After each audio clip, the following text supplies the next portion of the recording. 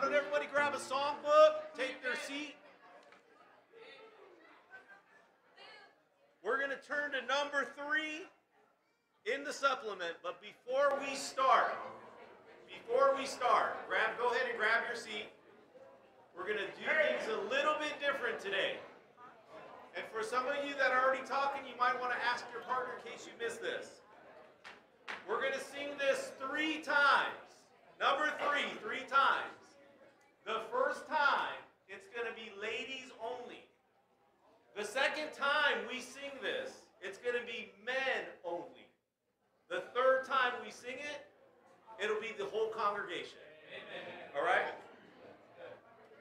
Ladies first. Number three. For Brian. Number three.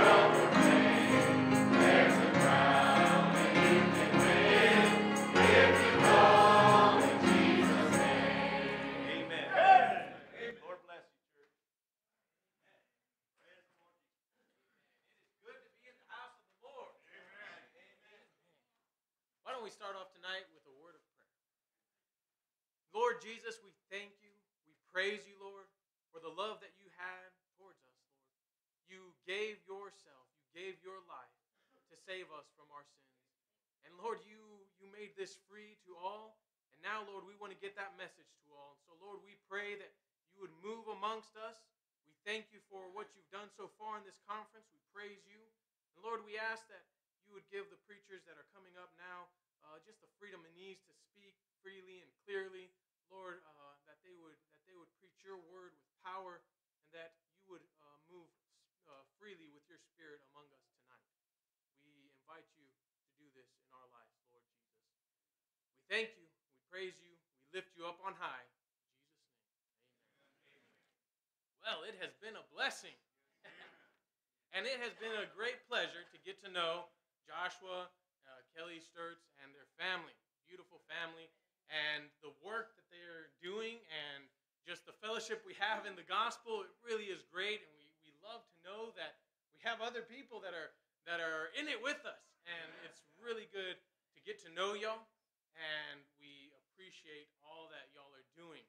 So, uh, Joshua, it's going to be your turn to speak. And I believe they have a special that they want to present to us also. So, this is the Sturts family.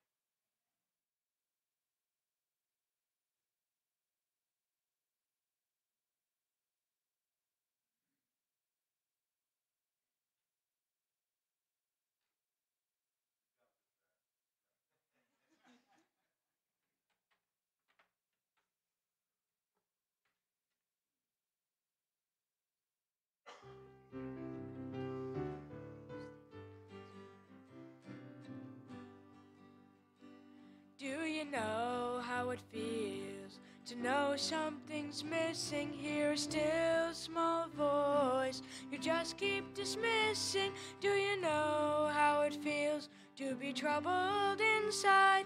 To think just for you wanna cross someone does. How does it feel? Washed away, never to be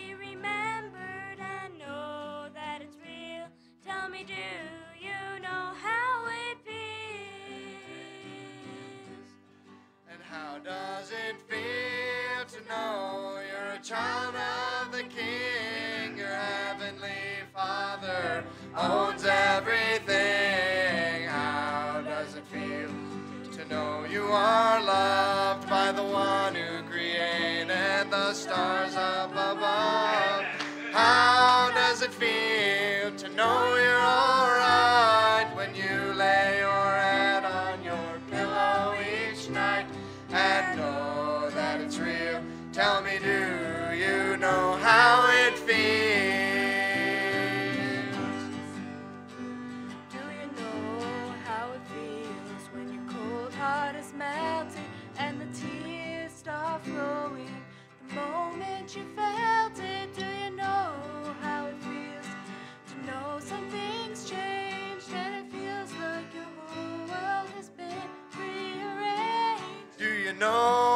it feels wherever you roam? You still get this feeling you're not at home, knowing heaven is real.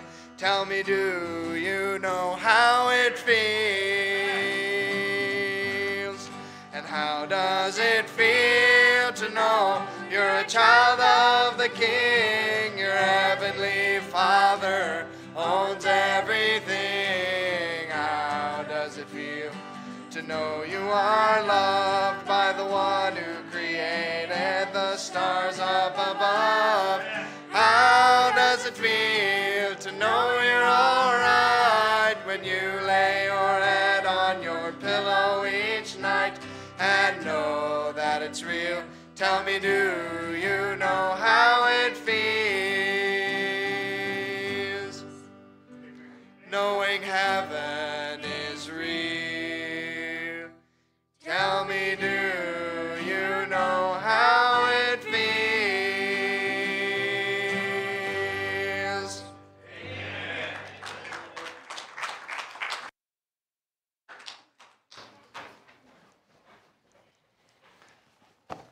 Well, thank you very much, family. It's what a blessing it is to be able to travel and uh, share the ministry that God has given us with them. And I know that my time is limited. One of the hardest things as a dad, uh, when you're at my age bracket, and you start to realize that the oldest kid isn't seven anymore or 12 anymore.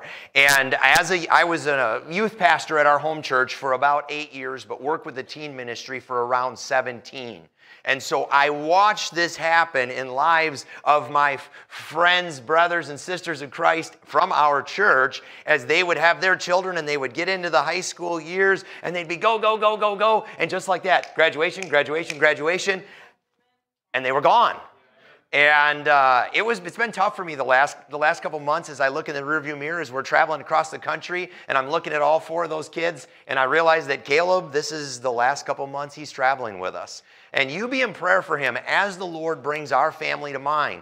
Caleb is surrendered to do whatever God would have him to do with his life. And uh, I don't know what God has in store for him, but uh, I'm excited to see what, uh, what God's going to do with him now. So, but let's get into the word tonight. I, uh, I'm excited to preach this message, and I hope and pray that the Lord uses it in your heart and life. Uh, it's been wonderful to be with you. Please turn with me to 1 Corinthians chapter 3. Brother Eddie pretty much stole the sermon, which is, is great. But, uh, but you guys have taken care of us so well. Thank you for the hotel. It has been great. I shared that with Pastor Brother Brent several times and said, hey, thank you for the accommodations. They've served our family extremely well. When you travel with six of you, it's not quite the same. I grew up with just one brother, as you saw on the slides uh, the other night. And uh, so it was easy for my parents. Two double beds, they got one, we got the other. Easy peasy. Um, but with our family, it's a little bit more complex. And uh, the accommodations have been great. The food has been awesome. I remember Claudia saying to me after spending the first week in Texas, the food down here is awesome. Y'all know how to cook food. That's all I can say. But Tex Mex, we don't know what Tex Mex is up in Wisconsin. Just say that. But, uh, but thank you for the food. Thank you most of all for the sweet, welcoming spirit and the fellowship that we've enjoyed it has been a true blessing to our family. And uh, getting to know each one of you that I've had the opportunity to, I've been blessed and encouraged by you. The preaching has been a challenge to me, has been encouragement to me. There's been reproof, there's been exhort, exhortation, and I, I appreciate uh, the men in the spirit uh, that we've experienced here. So, but tonight I want to preach a message called Build Thereupon build thereupon. Understand that in order for us to do what God has intended for us, we have to follow His map of building our lives. He's saved our souls. The problem with religion is religion has it backwards. Religion says you have to do, do, do, do in order to go to heaven which is false. There is none other name given among men whereby we must be saved. The only hope that we have is the redeeming power of the Lord Jesus Christ and the salvation offered through him. There's nothing we can do to merit, earn, or gain our salvation. But once we are saved, he expects us to work with the time that we have. And so me spending 24 years as a building uh, in residential construction, 20 of those years as, a, as an owner operator of a business, when I was reading this passage one day, the building aspect really jumped out at me. And the Lord gave me this message, and I hope it's a challenge and a blessing to you. So let's start 1 Corinthians chapter 3, verses 5 and following. Who then is Paul? And who is Apollos, but ministers by whom ye believed? Even as the Lord gave to every man. I have planted, Apollos watered, but God gave the increase. So then, neither is he that planteth anything, neither he that watereth, but God that giveth the increase. Now, he that planteth and he that watereth are one, and every man shall receive his own reward according to his own labor. For we are laborers together with God. Ye are God's husbandry, ye are God's building, according to the grace of God which is given unto me as a wise master builder. I have laid the foundation, and another buildeth thereon. Pay close attention. But let every man take heed how he buildeth thereupon. For other foundation can no man lay than that is laid, which is Jesus Christ. Now, if any man build upon this foundation gold, silver, precious stones, wood, hay, stubble, every man's work shall be made manifest, for the day shall declare it, because it shall be revealed by fire, and the fire shall try every man's work of what sort it is. If any man's work abide which he hath built thereupon, he shall receive a reward. If any man's work shall be burned, he shall suffer loss, but he himself shall be saved, yet so as by fire. Let's pray. Dear Heavenly Father, God, what a blessing, what a privilege it is, Lord, to gather together freely in your house. We think of the countless uh, believers that meet in, in fear across this world fear of somebody breaking through, fear of somebody breaking up their assembly, fear of somebody taking them off to jail. We thank you for the freedom that you've given us. But mostly, Lord, we thank you for the freedom of our souls that we have through the Lord Jesus Christ and his shed blood on the cross of Calvary. And I pray that in these few moments that we have tonight, God, that you would speak to us, challenge us through your word. Lord God, that you'd hide me behind the cross, that you'd be lifted up and glorified. And Lord, that we would follow your promptings in our hearts, if there's areas that we need to, Lord, purge some things, get some things straightened around. And we'll give you the praise and the glory, and we love you, Lord. In Jesus' name, amen. I have four points tonight the foundation, the framing, the furnishings, and the final inspection. In my years spent with building houses, I became acutely aware of the process of building a house. Let's start with the foundation. Let's go to the center of this passage. For other foundation can no man lay than that is laid which is Jesus Christ. Boy, we've got builders. We have men in this church that are familiar with building.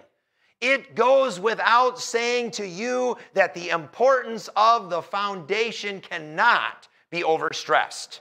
If you have a question on that, take a look. It was just what, a month or two ago was the one year anniversary of that giant apartment complex in Florida that collapsed.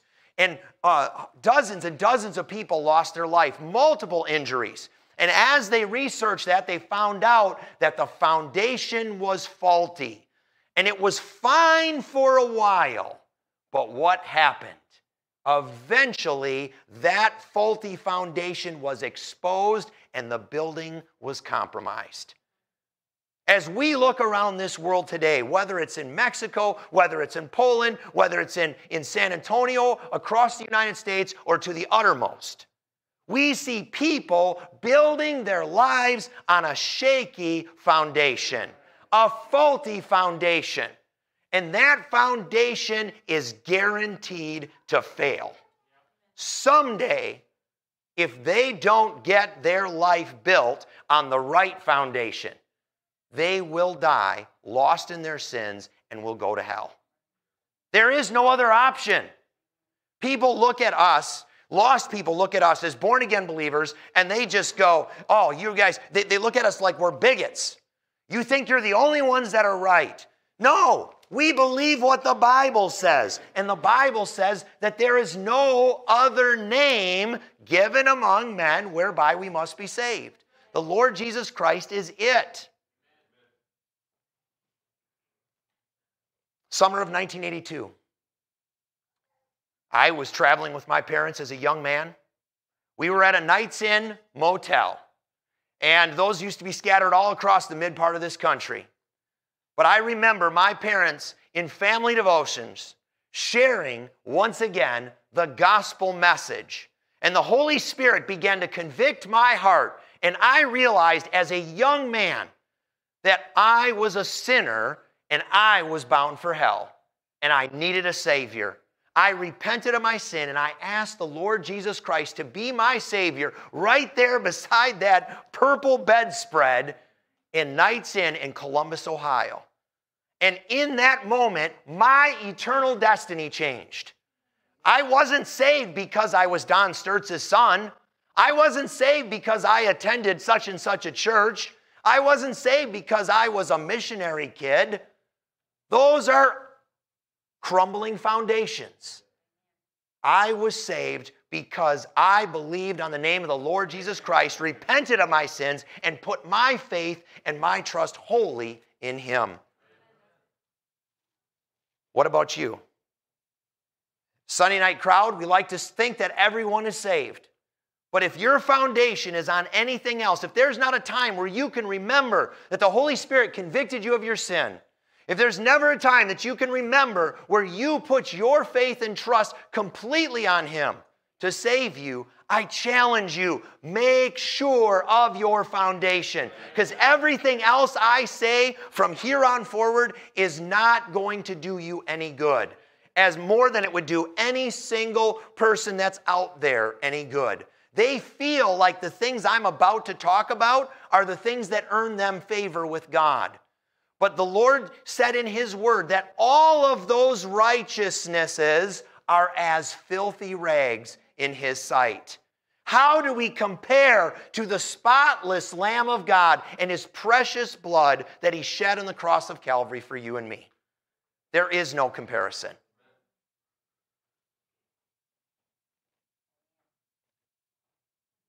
Do you know for sure that no matter what storms of life your soul, that your foundation is sure?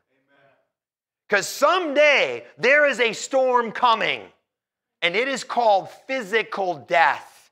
It is appointed unto man once to die, and after this, the judgment. This is the thing that this little puny brain I cannot wrap my mind around. Because it's in God's word, I believe it with all of my heart. But once you or I die, we don't get another opportunity in this realm of the saving of our souls. The religion called Catholicism, it was so unimaginable for them that they had to create a place called purgatory. You say, How can you say that they've created it? Because it's not in here. There is no middle ground. There is no place that you can pray somebody out of or pay somebody out of. The payment has been made, but the choice for you and I has to be made while we are living in this body. Once you're translated and you see death, that's it. There's no, no going back. There's no do over. There's no second chance. Jesus Christ is the chief cornerstone. He is the one that we are to have our lives built upon. He is the one that we are to have our ministries built upon. He is the one that the church is built upon. We are not a social program, although sometimes we're involved with those things. We are not a humanitarian aid program, although sometimes we're involved with those things. We are a ministry built upon the precious sacrifice of the Lord Jesus Christ, and it is our message, it is our imperative to share that gospel message with a lost and dying world around us. However, the Lord leads us to do that. Whether that's passing out a gospel tract, whether that's street preaching on the corner, whether that's doing a campaign and giving people John and Gospels of John and Romans, whether that's sharing your testimony with your coworker, your lost relative, or your neighbor over the fence. How ironic that we can talk about the weather, we can argue about the property line, but when it comes to spiritual stuff, all of a sudden we get mum. We're not a humanitarian aid program. What does Ephesians 2:19 say? Now, therefore, ye are no more strangers and foreigners, but fellow citizens with the saints and of the household of God, and are built upon the foundation of the apostles and prophets, Jesus Christ Himself being the chief cornerstone, in whom all the building fitly framed together, groweth unto an holy temple in the Lord, in whom ye also are built together for an habitation of God through the Spirit. Understand, all of this is built upon Him. But now let's take a walk back and let's go through a couple of these verses. What does it say in verse number seven?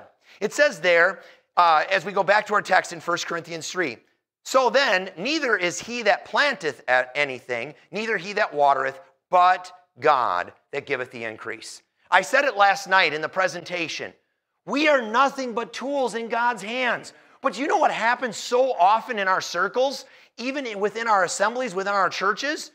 We get, there's pride that creeps into our heart, as has been addressed even today, where we get, well, I do this and they only do that, and therefore I'm more important. What did Jesus say to his apostles? Those of you that's going to be a chief, let him be what? Your servant. Your servant. This is the exact opposite of the hierarchy that we see in the world. They can't figure it out. They look at biblical Christianity, it just doesn't compute to them. But why should that be a surprise? They are of the world, they are of the earth. But sometimes what happens is, is that ideology creeps inside the walls of the church. And all of a sudden, we can't figure out why, are, why is the people biting and devouring one another? Because they think there's something instead of looking at the one who is all in all.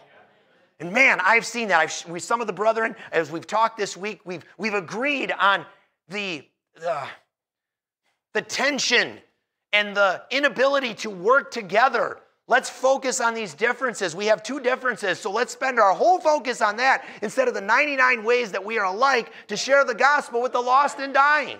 And then they look over at us going, What in the world? You guys are Christians and you guys are Christians, and Brethren, these things ought not so to be. Right. You know what? Brother Brian, I'm thinking, I'm glad my tools don't fight. Could you imagine if you went to your big tool chest, the back of your truck, the back of your van? Everybody does it a little different. I had a job trailer, but you went in there and and you couldn't get the saw to do what it was supposed to do because it wanted to be the nail gun. And the nail gun didn't want to do what it was supposed to do because it was it wanted to be the measuring device. It wanted to be the square. It wanted to be the tape measure. And you're going, "Guys, guys, guys. I've got a house to remodel. I've got a I've got a house to build. And you guys are spending so much time fighting. You're not fit for the purpose that I need you for."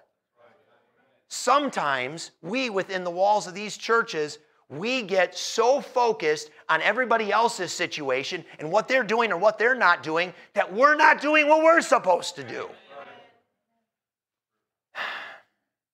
Now, he that planteth, verse 8, and he that watereth are one, and every man shall receive his own reward according to his own labor.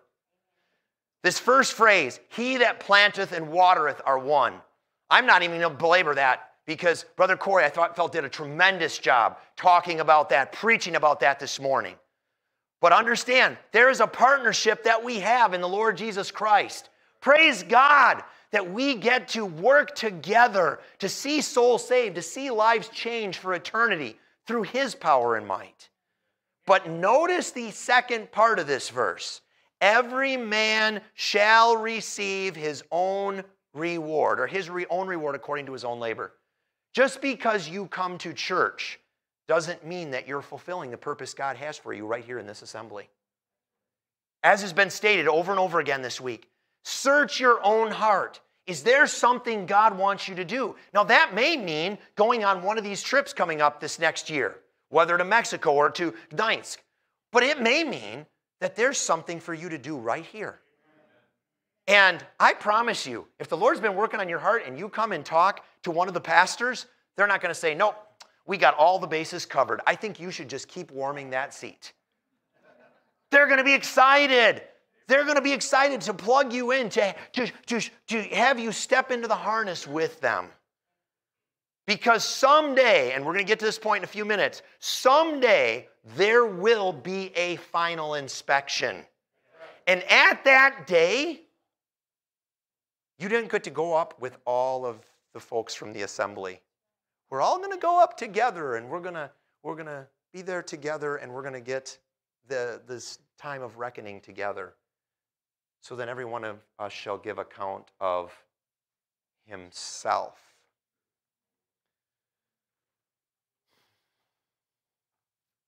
I love this verse, verse 9. For we are laborers together with God. Let that soak in for a minute. What? Josh Sturtz, the framer, the builder, he gets to be a co laborer with God? Don Sturtz, the, the former dairy farmer, Larry Ingalls was also with our ministry, was a bartender before he got saved. We get to be co laborers together with God. As I was thinking about this, a story came to mind. Back about 13 years ago, 12, 13 years ago, we decided to plant a little orchard in our backyard, four apple trees. And I tried my best, failed sometimes, but tried my best to include my kids in whatever projects I was doing and get them hands on experience. I knew I could do it faster a lot of times by myself, probably do a better job, but I knew that it was beneficial for them, and I love the experience of working with my children. So we got out our four apple trees, and we had our, our Haralred and our two Honey Crisp and our Red Baron, and we spaced them all out, which we thought was a really good distance back then. Now that they're much larger, I should have probably put them further apart. But we laid them all out, and we stood them up, and I still remember Caleb and Claudia. Judge wasn't born yet, I don't think. No, he wasn't. And Caleb and Claudia stand there, and Caleb with his little face as I'm asking him, Do those look like they're in a straight line? And he's like, Move that one a little bit, Dad. So we got him a little bit adjusted, got him all set, and then I took the spade and I went around and marked the outside edge of the root ball, and then we got him out of the way, and I'm shoveling with my big uh, shovel and spade, and there's Caleb and Claudia with their little plastic shovels that are kind of bending over every time they put them in the dirt. And then they would flick out a little, like maybe a tablespoon full of soil. You know, they're like, Dad, I got some. And I'm like, Yes, you did. Yes, you did. This is great. And so we're working together and we get it, we get the first one done. And then I go, Okay, Caleb, I need your help now, buddy. And he's like, Okay, Dad, what can I do? What can I do? And I said, You grab that side and I'll grab this side. No, you guys know uh, an apple tree that's probably, I'm gonna say six feet tall, this got a root base that's probably, root ball is probably that big. I don't know what those weigh, 75, 100 pounds.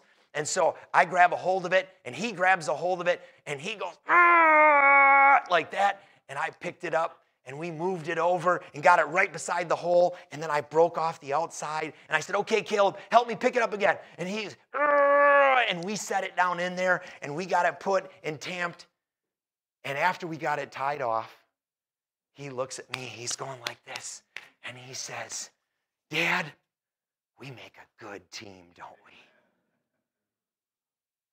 And I said, Caleb, we make a good team.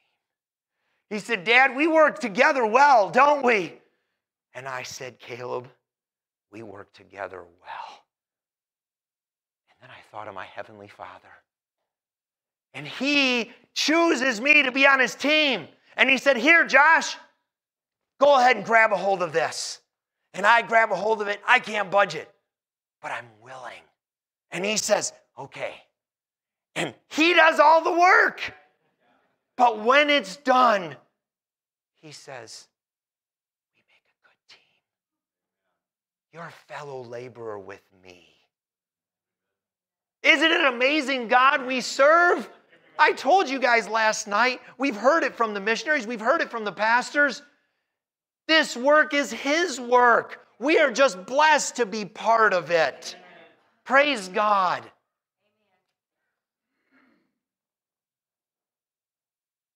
So now the framing.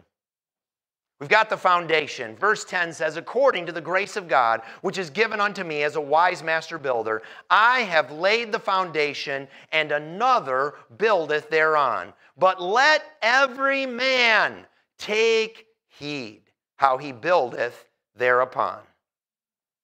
What are we doing in our personal lives? If we've received the Lord Jesus Christ as our Savior, we have got the only foundation that will last for eternity. But guess what? There's a foundation, but now there's some building that needs to take place. And the Lord looks at us through His Word and says, Take heed how you're building thereon. I'm looking at, at uh, my experience with construction, and I look at those foundations we pull up, and only a builder would know what it's like to pull up, and you've got your lumber pile that's there, your floor joist material if you're building over a basement. I know down here you don't do that often, but if, you've got a if you've got a slab foundation and you've got your wall material there, and that pile of lumber is there, and that and that uh, pallet of fasteners is there, and you've got your tools, and you go, okay, it's time to get to work. We want to see this thing go vertical. And boy, there's hardly a more exciting day on a job site as a framer to see those walls go up. You know, in, up in the north country where we've got the basements and you put the, wall, the floor on, that is necessary. But it doesn't, it's not exciting for the customer. But once the walls go up, whoa, look at this, something's getting done.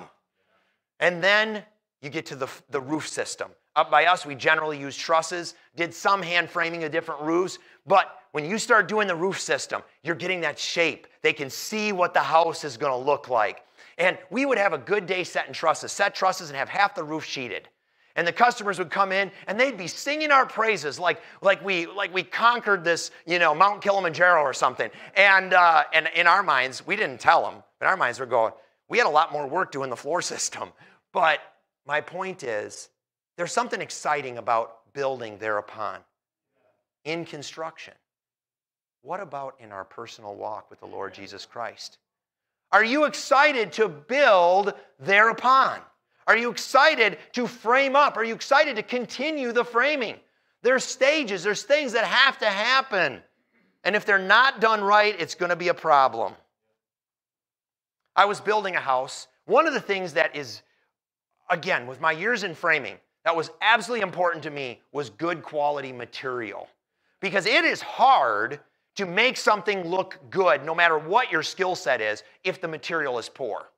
And so, studs for your exterior walls, interior walls. Man, we'd get into some of these bunks and you start looking through them, we call them banana wood. I mean, they were, they were twisted, they were crowned, they were bowed. And so I'd set those aside. I want to use the good stuff. And I had one particular batch of studs one time. And I was kicking through these things. They were, I believe, interior two by four studs. And I'm like, man, normally I could kick three or four and grab five or six. But in this case, I was kicking out 10 to get one. And I'm like, what is the deal? And I'm going through and I'm going through and I'm going through. And all of a sudden, I get about, um, for those of you again that have picked through a whole bunk of studs, uh, I think my, my math's a little bit off, but I want to say it's, we're talking close to 300 and I was three rows from the bottom in the middle of the pile, and I find scratched on one of the studs in big letters, no bueno. now, I don't speak much Spanish, but I knew what that meant. Somebody else had looked through these and had determined they weren't good enough to use. What is in your life that is no bueno? What is in your life that you're trying to build your Christian life upon? You've got the foundation set, but you're trying to frame and you can't figure out why the walls are all wacky. Have you considered the material?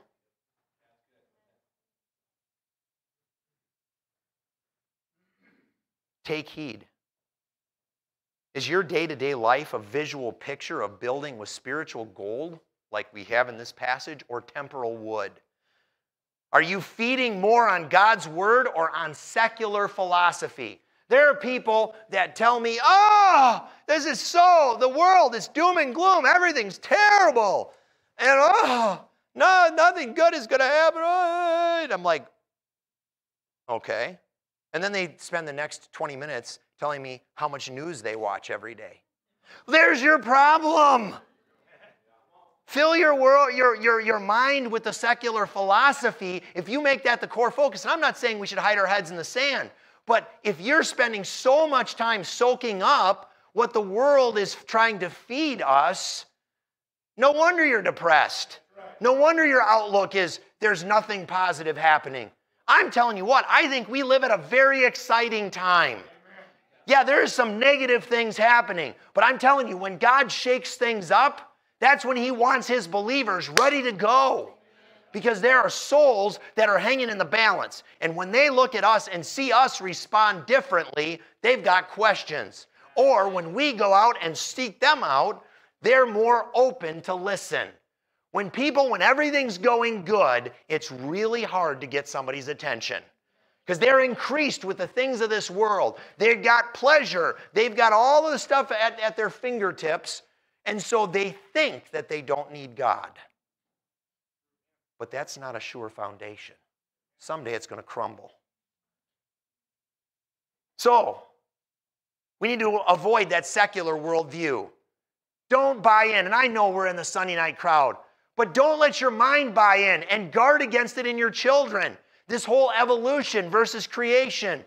I was speaking with somebody here just this week, and I said, when you start with, in the beginning, God, that is the baseline of all that you believe. It sure changes your worldview. But when you start with, well, 600 million years, no, 7 billion, no, 24 billion. We can't even comprehend what a million is, let alone a billion. But all those eons ago, all the particulate matter in the whole cosmos came together, compressed and spun and exploded and rah, rah, that changes your whole worldview. Suddenly, none of us have value. Suddenly, all of us are a mistake, are an accident. Suddenly, we're just one step up the food chain from the chimpanzee. That's not what God said. God said that He created us in His image. We are a special creation of God. He formed man of the dust of the ground, breathed into his nostrils the breath of life, and man became a living soul. So we got to avoid entertaining the thoughts of that stuff. Boy, another thing that's huge right now is this whole it used to be LGBTQ. Now it's non binary. Years ago, I'm not a computer guy. Where's Mike? I know he's probably in here somewhere, but, but binary, non binary, I thought that was like, you know, computer technological stuff, you know, years and years ago. I would have never guessed that someday we'd be applying that to people. I never, never guessed that the, some of the leaders of our land would be asked questions like, What is a female? And they would answer, I'm not a biologist. What? Are you kidding me? But yet it shows you when you get away from this book, you are building on material that is no bueno. It's not good.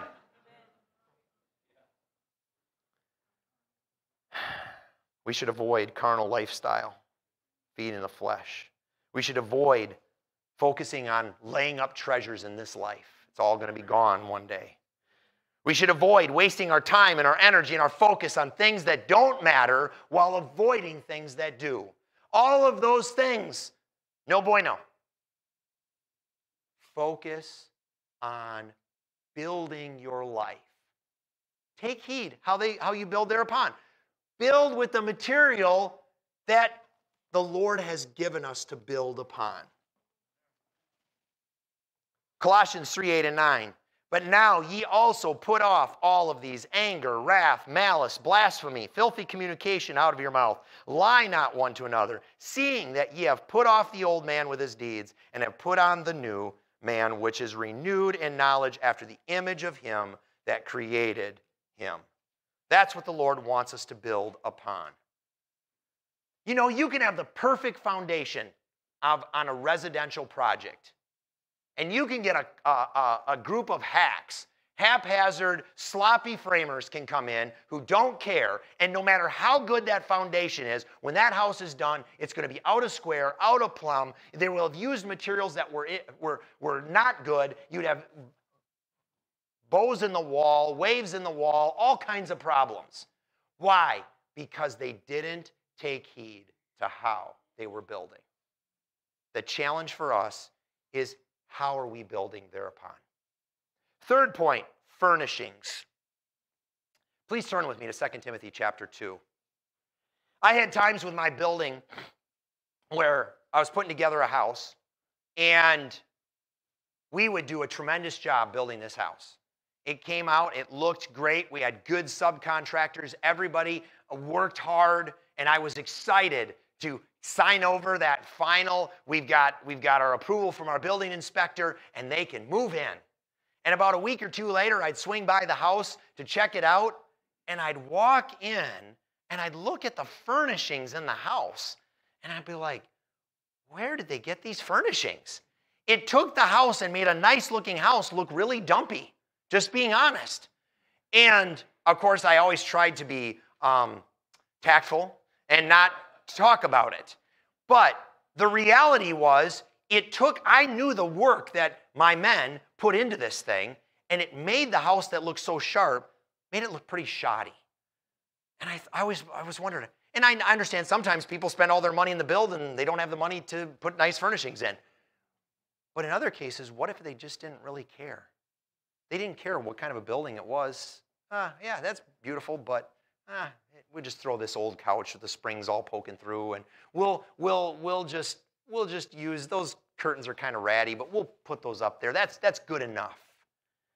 2 Timothy 2:15 says, "Study to show thyself approved unto God, a workman that needeth not to be ashamed, rightly dividing the word of truth, but shun profane and vain babblings, for they will increase unto more ungodliness. Nevertheless, the foundation of God standeth sure, having this seal The Lord knoweth them that are his. And let everyone that nameth the name of Christ depart from iniquity.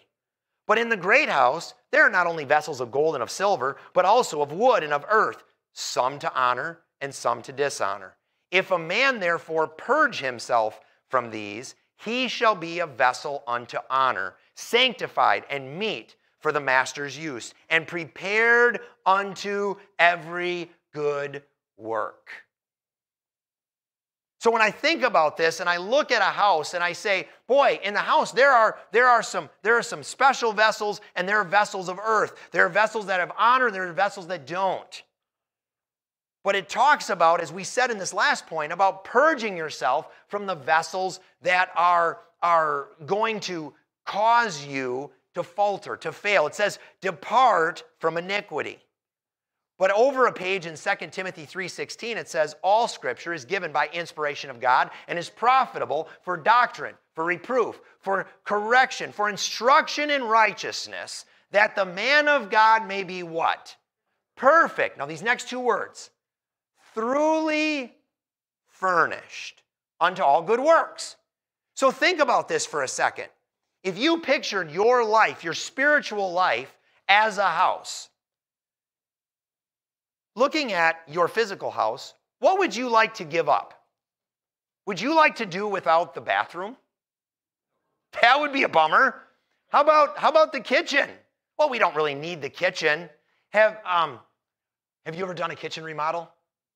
When you get into a kitchen remodel, I would always tell my customers, do you understand how stressful this is going to be? I will do my absolute best to make this happen as efficiently as I possibly can for you. But by the time this is done, you're going to want to kill her, she's going to want to kill you, and you're both going to want to kill me. I'm just telling you now. I said, it sounds great. Well, we'll only be without our kitchen for three weeks. We'll only be without our kitchen for two weeks. I said, practice by washing your dishes tomorrow night in the bathtub. I had some people that would have me remodel the kitchen and the bathroom at the same time. But look back at our spiritual lives. That the man of God may be perfect, thoroughly furnished. What area of your life have you been closing the, the door to the Lord? And saying, God, I'm yours, but not that spot. But not that spot. That's mine. I'm going to do what I want to do there. That's not what this verse is indicating. This verse is indicating that we are to let this Word of God dwell in us richly. Let this Word of God wash us thoroughly. Let this Word of God work in and through our lives. And if we see something in there that the Lord is challenging us about, we need to get it right. What should we furnish our life with?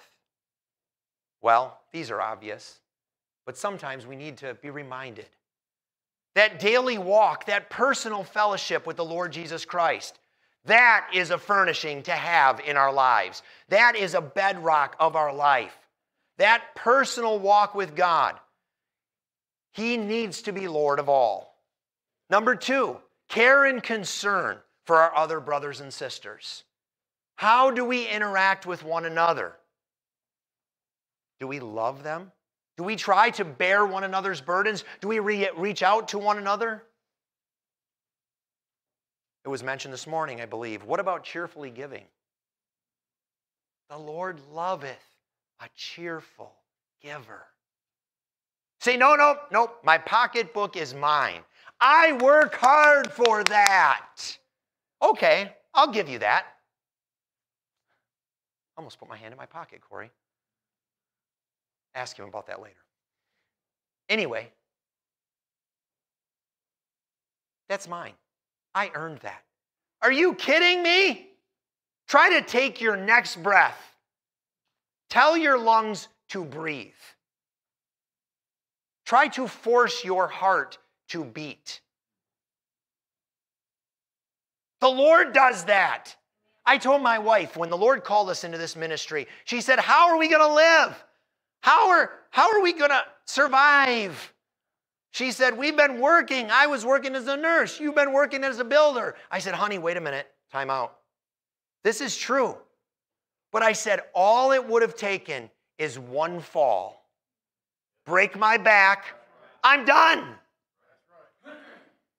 I said, Hon, you've worked as an operating room nurse for 20 years. I said, You deal with some very big decision making things. I said, You make a bad enough, big enough decision on one given day, and they're walking you out, and you're never going to be a nurse again. There's nothing that we have that's our own, it's all Him. Cheerful giving. How about our thought life? Stop it, preacher. That's getting a little too personal. Man, the Bible talks about fleeing fornication. The Bible, the, the seventh commandment, thou shalt not commit adultery. But man, when the Lord Jesus Christ came and he said, I tell you that anybody, if you look on a woman to lust after, you're committing adultery with her in your heart. That is something we got to keep in check every day, man. Every day. Our thought life, covetousness, anger, hatred, malice, the thoughts, the intents of our heart. The heart of man is deceitful above all and desperately wicked. Who can know it? Well, I'm basically a good person. No, we're not. We're sinners saved by grace. It's been said already if it were not for the mercy of God, we'd all be consumed. Personal evangelism. We need to fill our life with that. We need to be conscious of those around. Because if we have these things, if we have built our life according to God's word, guess what? We're going to be ready to do those things that God wants us to do. You say, well, God's not talking to me, God's not directing me. I'm not. Well, how are you doing with these things? Sometimes we want to be focused on being a missionary when we've got a room or two that have closed doors to the Holy Spirit. We need to open those up. We need to do some cleaning. We need to get rid of, purge ourselves of some of those old, nasty earthen vessels and let the Lord furnish our life thoroughly with His Word. But lastly, let's talk about the final inspection. This is a scary day for some builders. I know Brother Brian told me that there was an inspection just this last week, but I remember customers asking me, How are we going to do? How's it going to go? Something about test day. Whether you're a kid in fourth grade, whether you're a builder who's 55, 60 years old, whether it's somebody who's got to take a test for their work. Kelly has had to take multiple tests for her uh, nursing license and different things like that. There's something scary because you want to know am I going to do good enough? Am I going to stack up? Is, is that, how is this test going to come out? And I don't know about the inspectors down here, but up in Wisconsin, they're literally like the Gestapo. They have nobody really over them, although they claim that they do. And they are free to interpret the UDC any way that they want. But it helps a lot when you build correctly. Verses 13 and down, it says, Every man's work shall be made manifest, for the day shall declare it. What day? The inspection day. Because it shall be revealed by fire, and the fire shall try every man's work of what sort it is. If any man's work abide, which he hath built thereupon, he shall receive a reward. If any man's work be, shall be burned, he shall suffer loss, but he himself shall be saved, yet so as by fire. There is a, I mentioned it, the UDC, Uniform Dwelling Code, the code book. And I would always assure my customers, say, we do our absolute best to build according to the codes. I surround myself with subs that do their best to build according to the codes. You say, How do I know when I stand before the Lord Jesus Christ that He's going to be pleased with the building? He gave us a code book. It's right here. He's not trying to be tricky. He's not trying to slip us up because there are some building inspectors that do. There are some building inspectors that I learned they're hobby horses. I could argue and fight with them about their hobby horse that wasn't according to the UDC, but then the next job I did with them, I might as well just forget it. So I learned what they wanted, and that's what we would do. Jesus is not like that. Our Savior is not like that. He's not trying to trick us up, trip us up. Remember, we are co laborers together with God. He said, I've given you everything you need to ace that final inspection. The question is, are we doing it? Are we doing it? Because guess what? None of us gets to opt out. 2 Corinthians 5:10 for we must all appear before the judgment seat of Christ that everyone may receive the things done in eternity? No. That he may receive the things done in his body. According to that he hath done, whether it be good or bad. How many times have you heard a lost person, when you ask them, Do you know for sure that you are going to heaven when you die? And they say, I don't know. I'm hoping that my good works outweigh my bad. Did they make an app for that? I mean, yeah, you're going to get a. I don't. I got an old school watch. Uh, Kelly's got an Apple Watch. Um, you're going to get a buzz, a reminder. Oh, oh, oh, that was a bad work. You better work on some good works. That's that doesn't that doesn't fly. We know that that's not going to get anybody to heaven. But after we have received Christ as our Savior, according to these verses, we're going to get judged on the time that we have. What we do with the time that we have. Why do you think there's so many warnings? Redeeming the time. Walk circumspectly. Someday we're going to answer. Let me end with this story. 2008. I was talking to the brother in the back. I'm sorry, brother, I don't remember your name. I've heard so many this week. But he was showing me some of the beautiful homes that he's built and he's building. And uh, I told him, I said, most of the houses I built were between two and 3,000 square foot. They were custom homes, they were nice homes, but they were definitely not what I would consider high-end home. However, in 2008, I had the privilege to build the largest house that I, I've ever built. It was 12,000 square feet. And you can imagine a 12,000 square foot house. Just ask our brother in the back. There were all the things you'd expect nine bathrooms, two kitchens, a cons- music conservatory, a game room for all the big mounts, you know, all the stuff that you'd imagine. Just the deck alone, the out- outside deck was 1,700 square feet. It's on 180 acres overlooking a lake. It was a beautiful, beautiful home. I spent nearly a year and six months of my life building that house for a very wealthy man. The house was gorgeous. Guess what? It was filled with beautiful furnishings. It was an amazing home. I kind of jokingly called it my Sistine Chapel. December 19th, 2019, I was building my last home. The Lord had called me to join Couriers. I felt confident that's where He wanted us to be, but I had my one last contract home to finish. And I was working in the afternoon and my phone started buzzing. And I'm like, oh man. Because it was, you know, one I can ignore. You get a second one and a third one. Somebody's trying to get a hold of you. So I pull my phone out, and much to my horror, I have a picture of that house on fire. One end is on fire and the other end is on fire. I'm going, oh my goodness. And the person who texted me said, look what's happening. Uh, 10 minutes later, I got another picture between the two ends. Now, understand this house was 232 feet from one end to the other, and the entire roof was on fire in 10 minutes. 15 minutes later, I got another picture, and the walls had started collapsing. It was a colossal failure. In 180 minutes, that house burned flat to the ground. My Aunt Tricia asked me um, a couple weeks later, she said, How does that make you feel?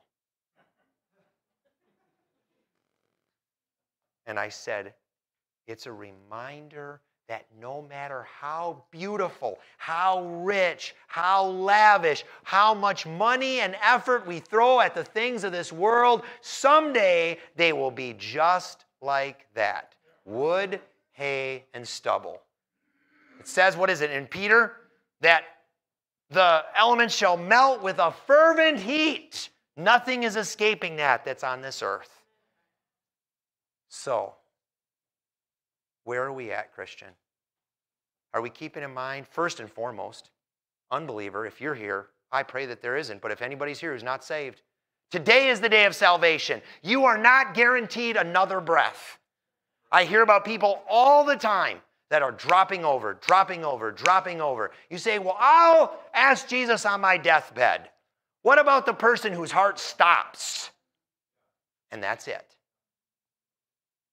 But how are you framing? Are you building with the material found in this book, or are you trying to build with the material of this world and you can't figure out what's going on? What are you furnishing your life with? Where are you putting your energy? Where are you putting your focus? Are you ready for that final inspection? Because, can I say, we don't know when that time is going to come. The trumpet could sound at any moment. I'm not pulling, I, I'm not afraid of death, but I'm not looking forward to it either. Kelly and I have had the conversation a few times. What if you die first? What if I die first? You know, blah, blah, blah, blah. We've been talking about our will and stuff um, for the kids' sake. Uh, we dug our will out of the closet the other day before we went to Poland and realized Zach wasn't even on it yet. We're like, whoa, we haven't looked at this in a while. But if I could choose, I'd just like us all to go in the rapture. Hey, see ya. We're out of here. But there's a work to do until that time comes. And so let's be busy about it. Thank you.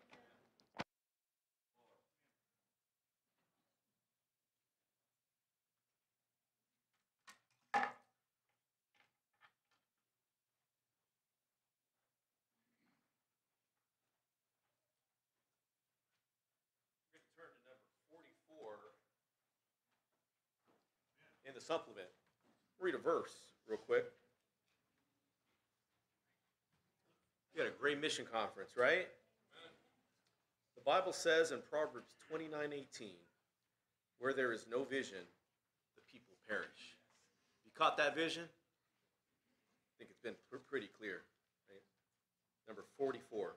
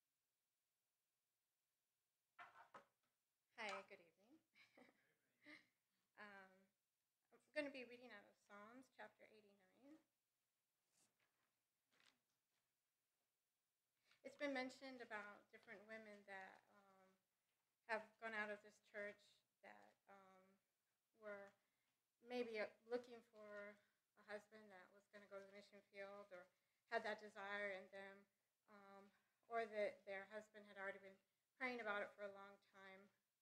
I was neither of those.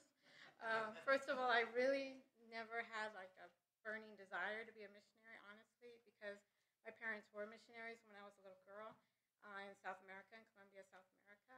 And I was young, five ish, and I just remember being scared a lot because we had somebody break in our house through my bedroom window and somebody cut the watch off my mom's arm at a stoplight. You know, just little things that kids kind of freak out about. So I never like. I was, you know, my sister Debbie Kincaid was uh, had definitely had more of that um, vision, that um, desire. And then I married my husband in 1992, and in 1993 there was a mission conference, and before that he, was um, speaking to me about how difficult he couldn't even imagine standing up in an open meeting.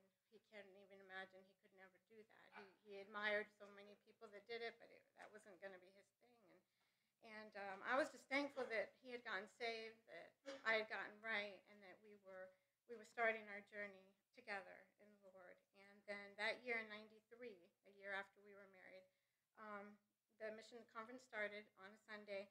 And around Wednesday, we both had jobs working, all that, and then he just mentioned to me in bed one night, I think God wants me to go to Mexico. And um, of course, by then he had been sharing in the meetings a little bit and doing visiting and things like that. And I kind of freaked out again. That five-year-old freaked out girl kind of popped up in my mind.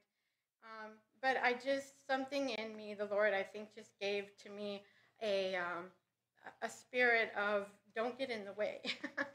you know, just don't get in the way. You know, it might not be me. It might not be the, the vision that he has, might not be my own at this moment, but I didn't want to get in the way. And I'm thankful for that, that God gave me that. And um, I praise the Lord because Mexico is home to me. It truly is. I never thought it would be, but God has been good. And um, I thank the Lord for a husband that has been faithful, that has been solid, um, solid for many people in Mexico, but he's been my solid ground apart from the Lord. um, in Psalm chapter 89, just something that the Lord has been dealing with me about in this psalm, I wanted to share it with you. It might seem a little strange to try to, uh, a missionary trying to um, talk about getting a vision, but a lot of times I do lose my vision of the condition of a lost soul and um, what it truly is. So many times we are we're dealing with ministering to those who've already been saved, and that becomes uh, so much of the labor, um, and it, and that in itself obviously is tiring, and there's ups and downs. But the vision of what is uh, a lost soul is uh, their, their condition, truly. In Psalm 89, starting in verse 15, um, get my glasses on. it says, Blessed is the people that know the joyful sound. They shall walk, O Lord, in the light of thy countenance. In thy name shall they rejoice all the day, and in thy righteousness shall they be exalted. For thou art the glory of their strength, and in thy favor our horn shall be exalted. For the Lord is our defense, and the Holy One of Israel is our King. Just thinking about that joyful sound, I believe that for us in this day, the joyful sound is the, the sound Jesus saves, the message of salvation. And thinking of this, this, this phrase, blessed is the people that know the joyful sound, it automatically creates a separation. There's obviously another group that doesn't know the joyful sound. It creates two groups of people. And I'm thankful, uh, I mentioned in an open meeting this week how grateful I am for God's mercy that, that I was raised in a Christian home. And I didn't just hear a small note of that sound my whole life. Um, or just hear about there's some sound out there that people are talking about. I knew, and I know today the sound personally. And anyone that's saved, that is a born again believer, we know that joyful sound. And I just want to look at a few of the benefits from being that blessed people who know the joyful sound. The first benefit from knowing that joyful sound is in verse 15. It says, They shall walk, O Lord, in the light of thy countenance. Now, I'm, I'm a person who likes contrast and comparison. It's a great blessing to me to, to consider that. And thinking about this benefit from knowing the joyful sound of salvation is that I can walk in the light of God's countenance, in, in His presence. Yet those who don't know the, the joyful sound, first of all, they're not a blessed people at the moment. Their state, their condition is they're under condemnation. And they're not benefiting because they're actually at great risk and they're hindered by not knowing. And as far as being and walking in the light of God's countenance, they're actually the opposite. They're stumbling in the darkness of the absence of God in their life. Verse 16 says, In thy name shall they rejoice all the day, those that know the joyful sound, that have that personal relationship with Christ. I possess the source of true rejoicing, endless rejoicing. It says all the day. All my lifetime, I have no reason to not rejoice because I've known salvation personally. It says, Thy name, the name of Jesus, just hearing his name and thinking on his name, those who know him, it stirs your heart. So many things come to mind, so many emotions, so many, so many, so much thanksgiving and rejoicing just automatically comes when you hear his name. Like Song of Solomon says, Thy name is as ointment poured forth. We know his name is the ointment for a weary, wounded soul. But yet, the person who does not know, that people that does not know the joyful sound, they are trying substitutes for the true source of rejoicing. Um, they're indifferent or maybe even angry at the mention of the name of Jesus, which the Bible explains us in Corinthians that obviously it's a normal reaction. The natural man um, just uh, can't perceive um, somebody magnifying the name of Jesus. They consider that foolishness. Verse 16, the second part says, in thy righteousness shall they be exalted. Wow, that to me is salvation too. It's just salvation. My his righteousness is what exalts me. His righteousness is what made me a daughter of God. Now are we the sons of God. And it's because of Jesus Christ, the righteous one. But that people who knoweth not, who do, who do not know the joyful sound, they're unknowingly under condemnation, for they're seeking their own righteousness, usually, which, as the brother said today, God views as filthy rags. In verse 17, the second part, it says, In, in thy favor our horn shall be exalted. While his righteousness exalts me. um, sorry, I already said that one. verse 17, um, it says, For thou art the glory of their strength. I'm strong only when I'm relying and glorying in Christ Jesus and his strength. It says that he's the glory of my strength. It's a beautiful thing to behold somebody strong in the Lord. But those who don't know the joyful sound are bound to and can only rely on, like the Bible says, the weak and beggarly elements of this world. The second part, I'm sorry, verse 17, it says, In thy favor our horn shall be exalted. Those who know the joyful sound are powerful, even victorious in a battle, in a spiritual battle. We can have victory, but only because of Christ's favor, his character, his exalting of our weakness. but there's also a battle going on within those that don't know the joyful sound. They're in a battle, they're striving, um, exalting themselves against the knowledge of God. The Bible describes them as those that oppose themselves. There's a strife going on within those that don't know the joyful sound. And lastly, in verse 18, the Lord is our defense, and the Holy One of Israel is our King. Praise the Lord, brethren, that those who know the joyful sound, we have a defender. We have somebody who is right there with us, walking with us, and defending us against the wiles of the devil. And He's our God, He's our Lord, He's our King. And yet, those that don't know the joyful sound, they're, they're actually taken captive by somebody else, by the devil. It says that they have him, he has them at his will, taken captive at his will, in his snares, whether it be false religion, sin, men's philosophies. And I just, um, I just wanted to consider um, the condition of these people, the other people. And truly, there really is only one distinction between humans, those that are saved and those who are lost.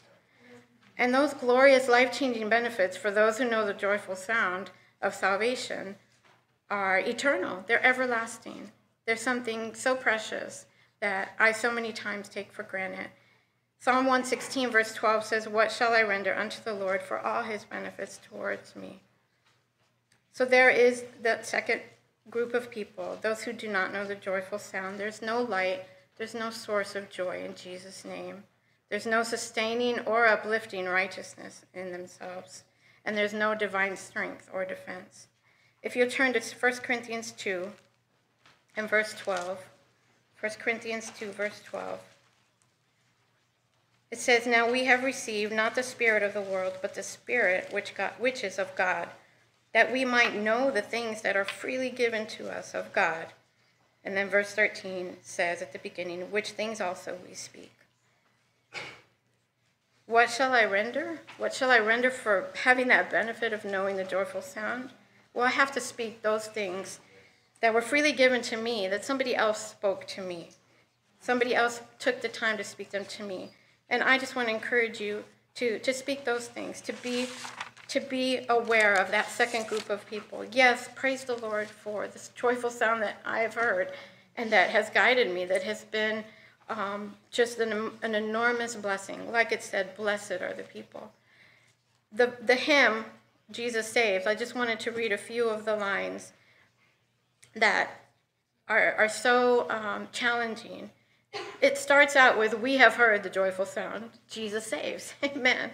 But then the entire rest of the hymn is about okay, what do you do with that now? Just a few lines. Spread the tidings all around. Bear the news to every land. Amen. Tell sinners far and wide. Sing above the battle strife. There is strife. Sing it softly through the gloom when the heart for mercy craves. Let the nations now rejoice. Shout salvation full and free. This our song of victory. May more nations and more sinners rejoice and also join in this song of victory. Jesus saves. Praise you, Lord. Amen. Jesus saves.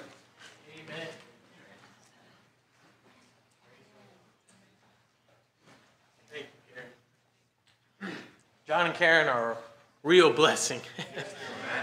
They're a fun, faithful couple serving the Lord. And they've been serving the Lord in Mexico for uh, long time.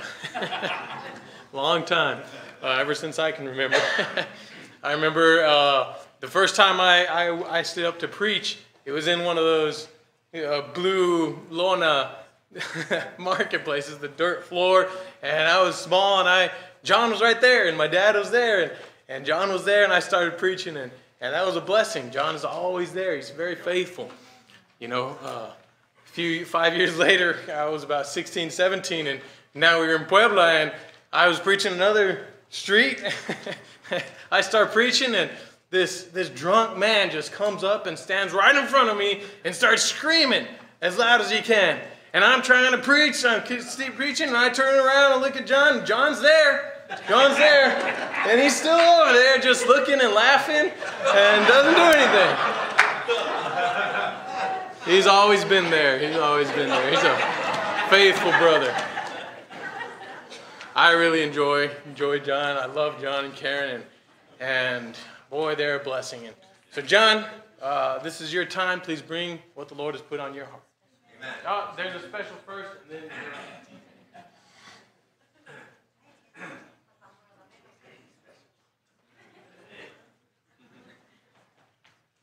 We didn't know you. You still don't. Just want to just want to read one quick verse. Psalm 81, verse 1 says, "Sing aloud unto God our strength. Make a joyful noise unto the God of Jacob." Amen. When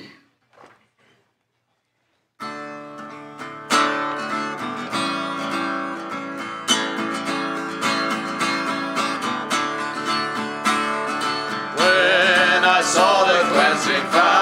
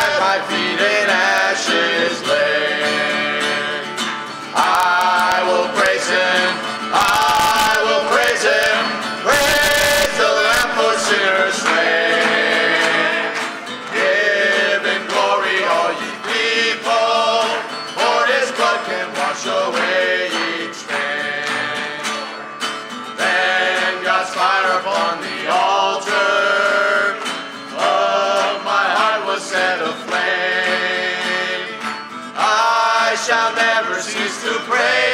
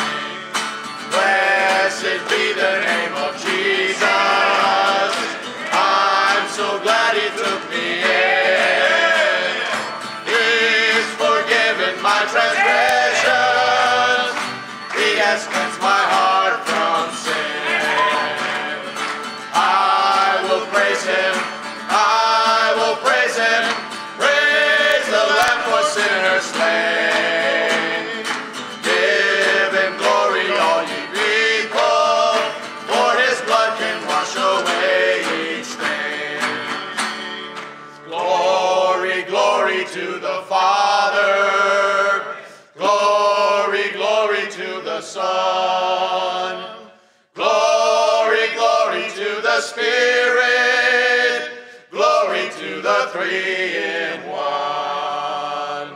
I will praise him. I will praise him. Praise the Lamb for sinners slain. Give him glory, all ye people, for his blood can wash away each stain. Glory to the Lord. Amen. Thank you, Jesus.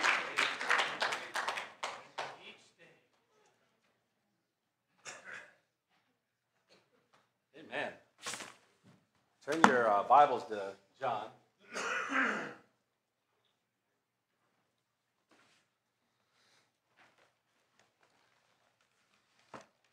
Well, who would have guessed that uh, that a ribeye will get so many people excited.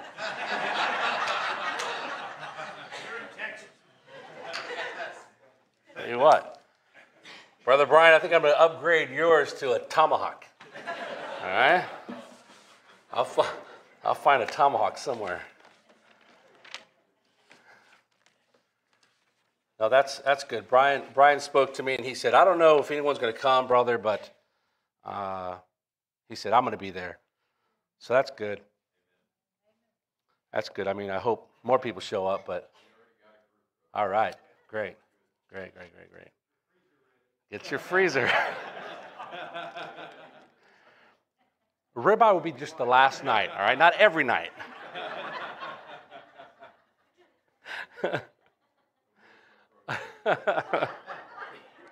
it's going to be a week of fasting. Uh, it's been it's been a good week, uh, a lot of fun. It's been a different kind of week. I think uh, I'm refreshed. I'm going back uh, very uh, very refreshed. Thank you, thank you for for this time. A lot of a lot of new people that that we met this time. Uh, it was good. I met a lot of new people in New York that I didn't know a few weeks ago when we were there, and a lot of new people here. Uh, you know what that tells me? The Lord's doing something. Lord is changing. Lord is uh, um, uh, touching hearts. That that that gets that gets me excited um, when I um, when I think about it. But um, thanks a lot the the uh, the uh, nursery uh, workers too. Boy, they they uh, no kids in here during during these times, and and man, I, I think it's a real blessing for for people to take time and take care of your kids. Um, you know, especially my grandbabies. They're pretty wild, those kids. yeah, spoiled rotten, man. Chapter 9. Chapter 9. All right, let's uh, try to get you guys out of here real quick. Um, I'm always short. All right. John chapter 9. Let's, let, let us read a few verses in here. Uh, and as Jesus passed by, and he saw a man which was blind from his birth, and his disciples asked him, saying, Master, who did sin, this man or his parents, that he was born blind? Jesus answered, Neither hath this man sinned nor his parents, but that the works of God should be made manifest in him. I must work the works of him that sent me while it is day. The night cometh when no man can work. Let's, let's pray. Heavenly Father, we just thank you for thank you for this week, Lord. Thank you for a good time, Lord, that you've uh, given us, that you've refreshed our spirits, Lord, and and uh, we hope that uh, that uh, our our time, my my brethren uh, this week, Lord, who uh, brought what was on their heart, and and the ladies as well, Lord, we just thank you for the word that was given. Thank you for the testimonies, Lord, and Father, we just ask that uh, in these times, especially in these times, there's so so many so many problems and fears and and uh, um, just things that are going on, Lord, and and we still see uh, you in the midst, Lord. Uh, help us keep our eyes focused on you, and help us not to uh, uh, move our eyes from you, Lord.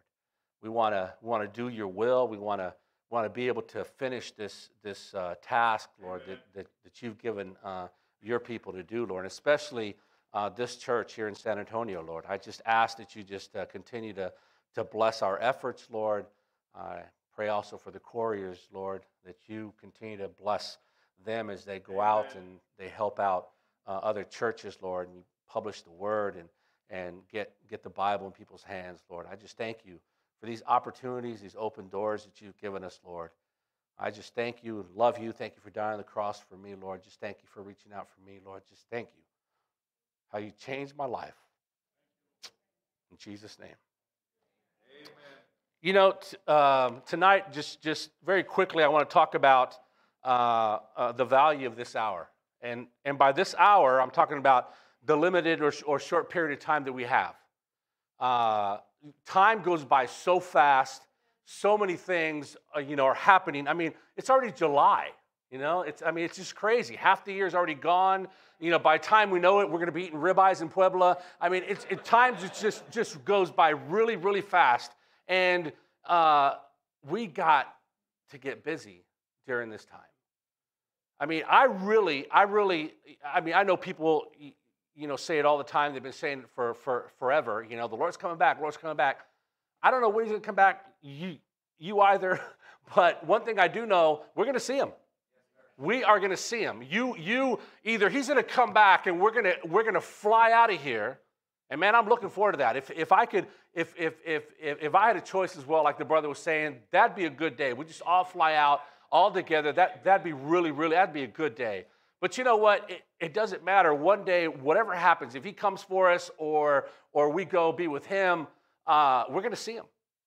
We're going to see him face to face. I mean, this is this is the the story that we have. It, there's there's there's nothing like it.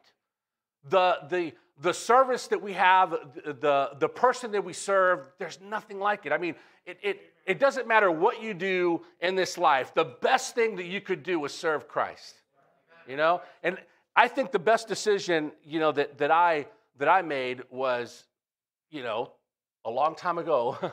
31 years ago, 30, 31 years ago, got saved. 31 years ago, right, right around here somewhere, you know? Did some good business. Back then, we had these curtains. I, I had no idea why those curtains were there, but they're ugly curtains, but they, they're huge curtains. But, but there I was, and I did business with God that week, and uh, man, God saved me. And that, that was good. Today, today I, had, I had an opportunity to see uh, Jorge uh, Ochoa, and he serves in another church now. But me and him got saved that same week. He was on one side of the room, and I was on the other side of the room. And, and, and that week, you know, God was dealing with him in his Taco Bell. I don't know who, who, who talked to him or, or how he got here. I, I, I forget that part of the story. But we ended up, me and him, that week here every night. And I had no idea who he was until after we both got saved that week. And uh, we became good friends. We're good friends to this day. Man, the Lord has really given me uh, an incredible time. But that 31 years, it's gone by really fast. You know, um, it, it's it, the, when it says right here, the night, the night cometh when no man can work, that, that phrase to me implies urgency right? It's when our time or moment or privilege is taken away. I'm going to try to stay with my with my outline so I can just be quick. Uh, you, you know, time is a gift, right? It's precious. It's something, it's, it's something that God has, has, has, has allowed us to have. It's, it's more valuable than any precious stone you could possibly have. Time is, you know, I wish, I wish I still had my dad here. You know, I mean, lots of times I think about that. I think about my father. You know, I'm hoping, you know, that I'll see him one day. I'm hoping. You know, and and uh, the reason why I have that hope is because I've said it lots of times. But when my it was during a mission conference also when, when, when my father passed away, and he called. He called me here at this church.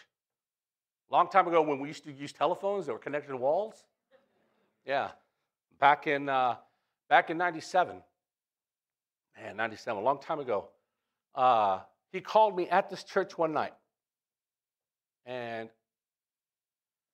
and that was funny too because they never used the the phones in this church. They just had you know hooked up to answering machines. That's it. You know, no one really you know used it. We didn't have like a, you know there was an office back there, but there was no office really to speak of.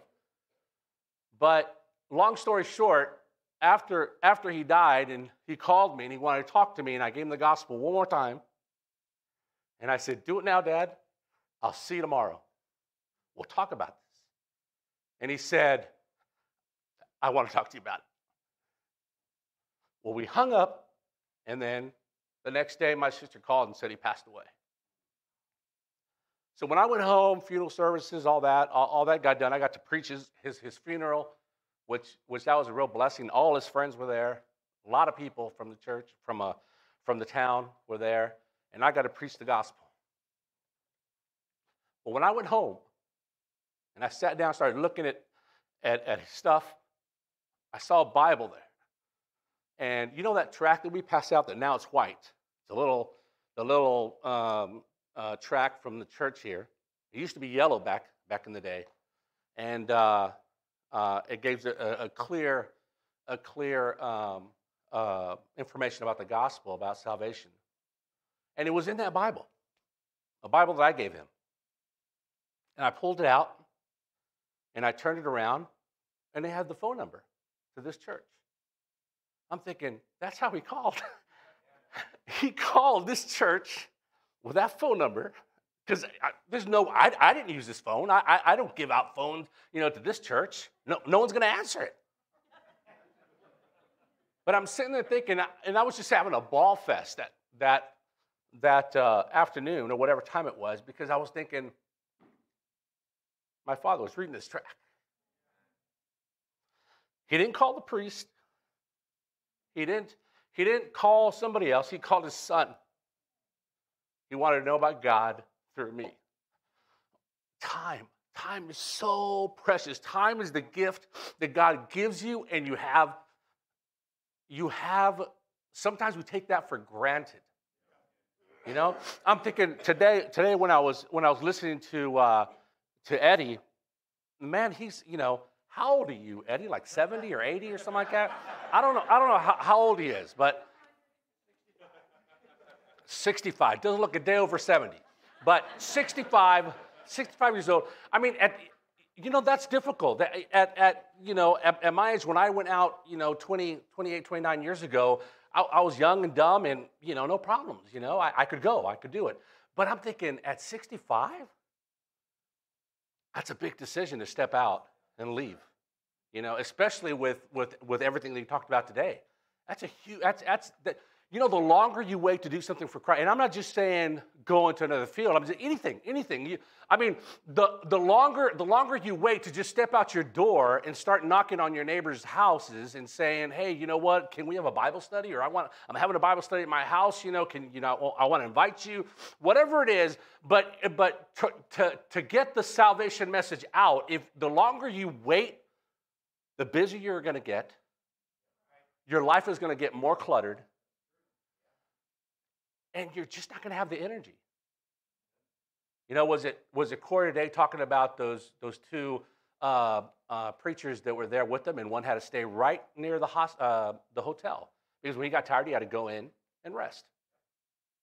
You know, I'm not there yet, right? But look, it's going to come a time where you, you're not going to be able to do as much as you can right now. I mean, Brother Linda doesn't go door to door no more, do you? Oh, forget about it. You know, uh, that time, and you used to do a lot of it. You used to a whole getting home from from school. I mean, I've heard all the stories. I was I was under his preaching. I, I heard exactly. I I can probably. But you come to a time when you when you get old and this body gets run down and you don't have that energy. Time just slips by. You know, it says it says the uh, in Ecclesiastes in chapter three that that it's it's a gift from God. Time. There's a time for everything. It's a gift from God. You know, all creation, oblivious to time, right? You, you go look at a cow, the cows ain't worried about time. You know, you look at a dog, especially look at a cat. The cat is the dumbest thing. You know, they have no idea what's going on, right? I mean, my, my, my, my three year old granddaughter is hilarious. Kids have no concept of time either, right? Cosette, Cosette, she's when she goes to bed at night and it's time for her to go to bed, she always asks uh, in 30 minutes, 30 minutes. She has no idea what 30 minutes is. but somewhere she heard 30 minutes and she, and she figured out in her head that that is going to buy her a little bit of time. So she goes, in 30 minutes. And th- everything to her is 30 minutes. No concept of time. But you know, your time and my time and, and, and there's come a, a, a, time in your life when you're, when, when, you, when you're not a child anymore, and, some, and, and, and there's a time where you, where you understand that you have a limited amount of time, right? Maybe not so much if, you're, if you don't know Christ and you're in the world, maybe, maybe you, you try to ignore uh, that, that, that you're not going to live forever. Uh, but as a, as a believer, you and I, man, it, it's, it came clear. Clear, clear, clear. Even when God was working with me and, and, and working in my heart, uh, I knew I had a limited time. That, that was one thing that I understood from, from that conversation I had, from that preacher. When that, that conversation, I said, I can die any second and I will go to hell. And I was so, I was so, I was so scared because I didn't want to die. I didn't want to go to hell. And I needed a little bit more time. A little bit more time, just a little bit more. And I made a deal with God. I remember it's so crazy. I remember I made a deal with God that week. And I said, just let me stay alive for one week more. And this guy invited me to a week, a week uh, of meetings. I'll go. That, that be, that's my promise to you, God. I will go every night. I will listen. At the end of the week, I'll make a decision. But I need time. And it, man, and God, I think God, in, in, a, in, a, in as much as an audible voice that God can give us, I think He said, okay because I could start that car that, that evening and I could go home. That's how scared I was. I didn't want to start the car. I was thinking, I could, I could die on the side of the road. God's faithful. Thank you, Lord. You know, uh, time is, is, something, is something very precious. And we have only, only a certain amount of time for the opportunities that God gives us. You know? Opportun- have you had opportunities I mean, and I'm not talking about spiritual opportunities. There's been opportunities that come into my life that that that I jumped on it and I not even thinking. I, I remember we, we, we, were we were in Irapuato, uh, you know, for just a little bit, and Karen and, and Karen needed a procedure done, and we had this doctor and Karen needed a procedure, and so we go into into his office there, and he had like a little clinic there. Uh, and uh, he said, Look, it's going to be an outpatient procedure. Right? I said, Okay, good. So they put her under and they were doing it. Well, he comes back out. Just like in, you know, a few minutes later, he comes back out and he says, Well, it's, it's a little bit more serious than, than what we thought. We could stop right now, but then I'd, I'd charge you for the time that's already here, and then you know, we can reschedule. You know? So I was like, okay, and what and what's the other option? He goes, well, we can continue. And, you know, obviously it's going to be a little bit more money, but we can continue. And, you know, she can still go home today, but it's going to be a little bit more, more of a procedure. And I said, okay, well, let's go with that. You know, I want to definitely, you know, I want my wife to be, be well. It was okay. Well, if you want, you can, you can come in with me. And I was like, what do you mean? He goes, yeah, if you want, you can scrub in and. I'm like, yeah, I didn't even think about it. You know, uh, what an opportunity. I could be a doctor for an hour. I'm like, I love Mexico. I say, yes. So I'm in there, and I'm thinking the reason why he wanted me in there is because obviously he didn't think it was going to be a little bit that much more of a procedure, but I guess he, he needed somebody to hold some tools because that's what I did. It was an amazing thing. I'm in there, I'm holding these tools, I'm thinking, wow, this is so cool. We get, we get done. He, he, uh, he, he sews her up. I'm in there in the, in, the, in, the, in, in the room. I'm in the room. You know, Karen's barely waking up. And I'm thinking, Karen, I operated on you. What an opportunity. I was like, man, I, man, I'm a doctor for uh, just one hour crash course. I've had one patient and she survived. Huh? Opportunities. Opportunities. You, you only have a certain amount of time. You have to take it. What, what is what's placed in front of you? What what what has God given you? Don't don't uh, don't uh, uh, menospreciar. Why always forget the English word? Don't don't don't what is it? Undervalue. Uh, don't undervalue what God has given you. Amen. You know, whatever it is, whatever God has put in front of you, whatever God wants you to do, do it and do it to the Lord. Do, do it heartily. Do it, do it with all your might. And let me tell you, we are all called to give the gospel. It's not that difficult to hand out a track. You know, and people are people are searching. There in Puebla, during COVID, all churches were closed, except for the rebels in 89 Poniente. We stayed open. You know, I think we closed like for I don't know, how long did we close? Like two weeks maybe or something, something like that. I, I forget how long we closed because that was very at the beginning. We had no idea what was going on. I mean, you know, but after like a couple of weeks sitting at home and not leaving, we're thinking, what are we doing?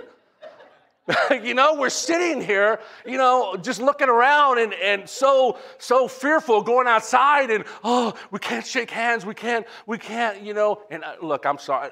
I don't want to get, offend anybody. I, I understand. From the time I went down to Mexico, Bill always, every time we came over preaching, wash your hands, wash your hands. I wash my hands. So fearful. But you know what? People came to our church. They'd pop in and say, you guys still open? Yeah, we're still open. You know, we have this, it's a very small church. We, we tried our best to do social distancing, but it doesn't work. I mean, it's, Eddie's seen it, it's a garage.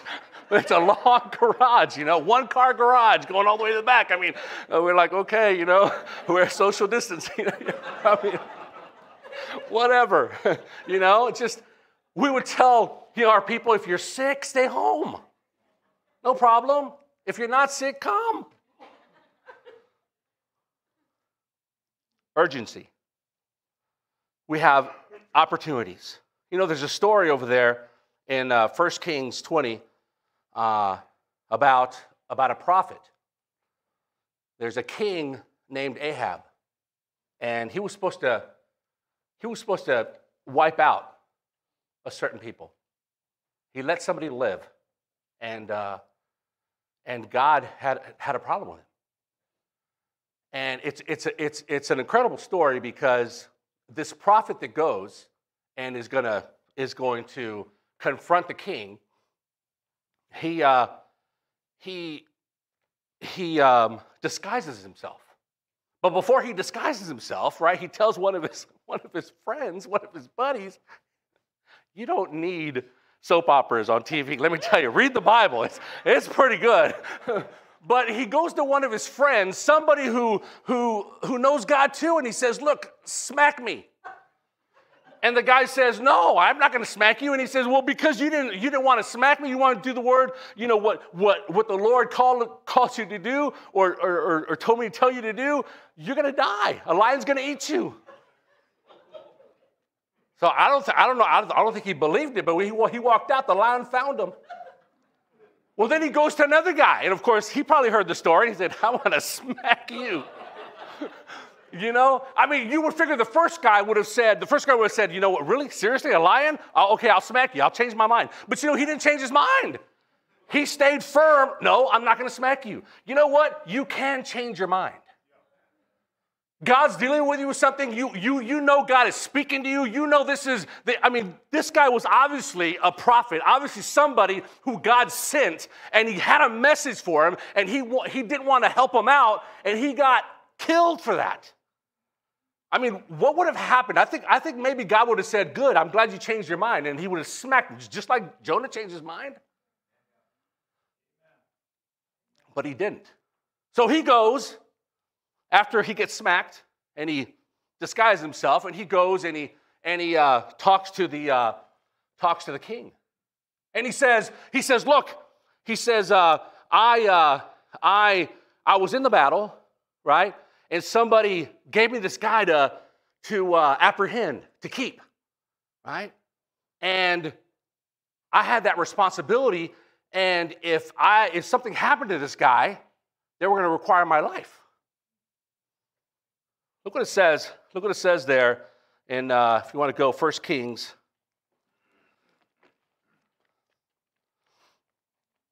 First Kings 20.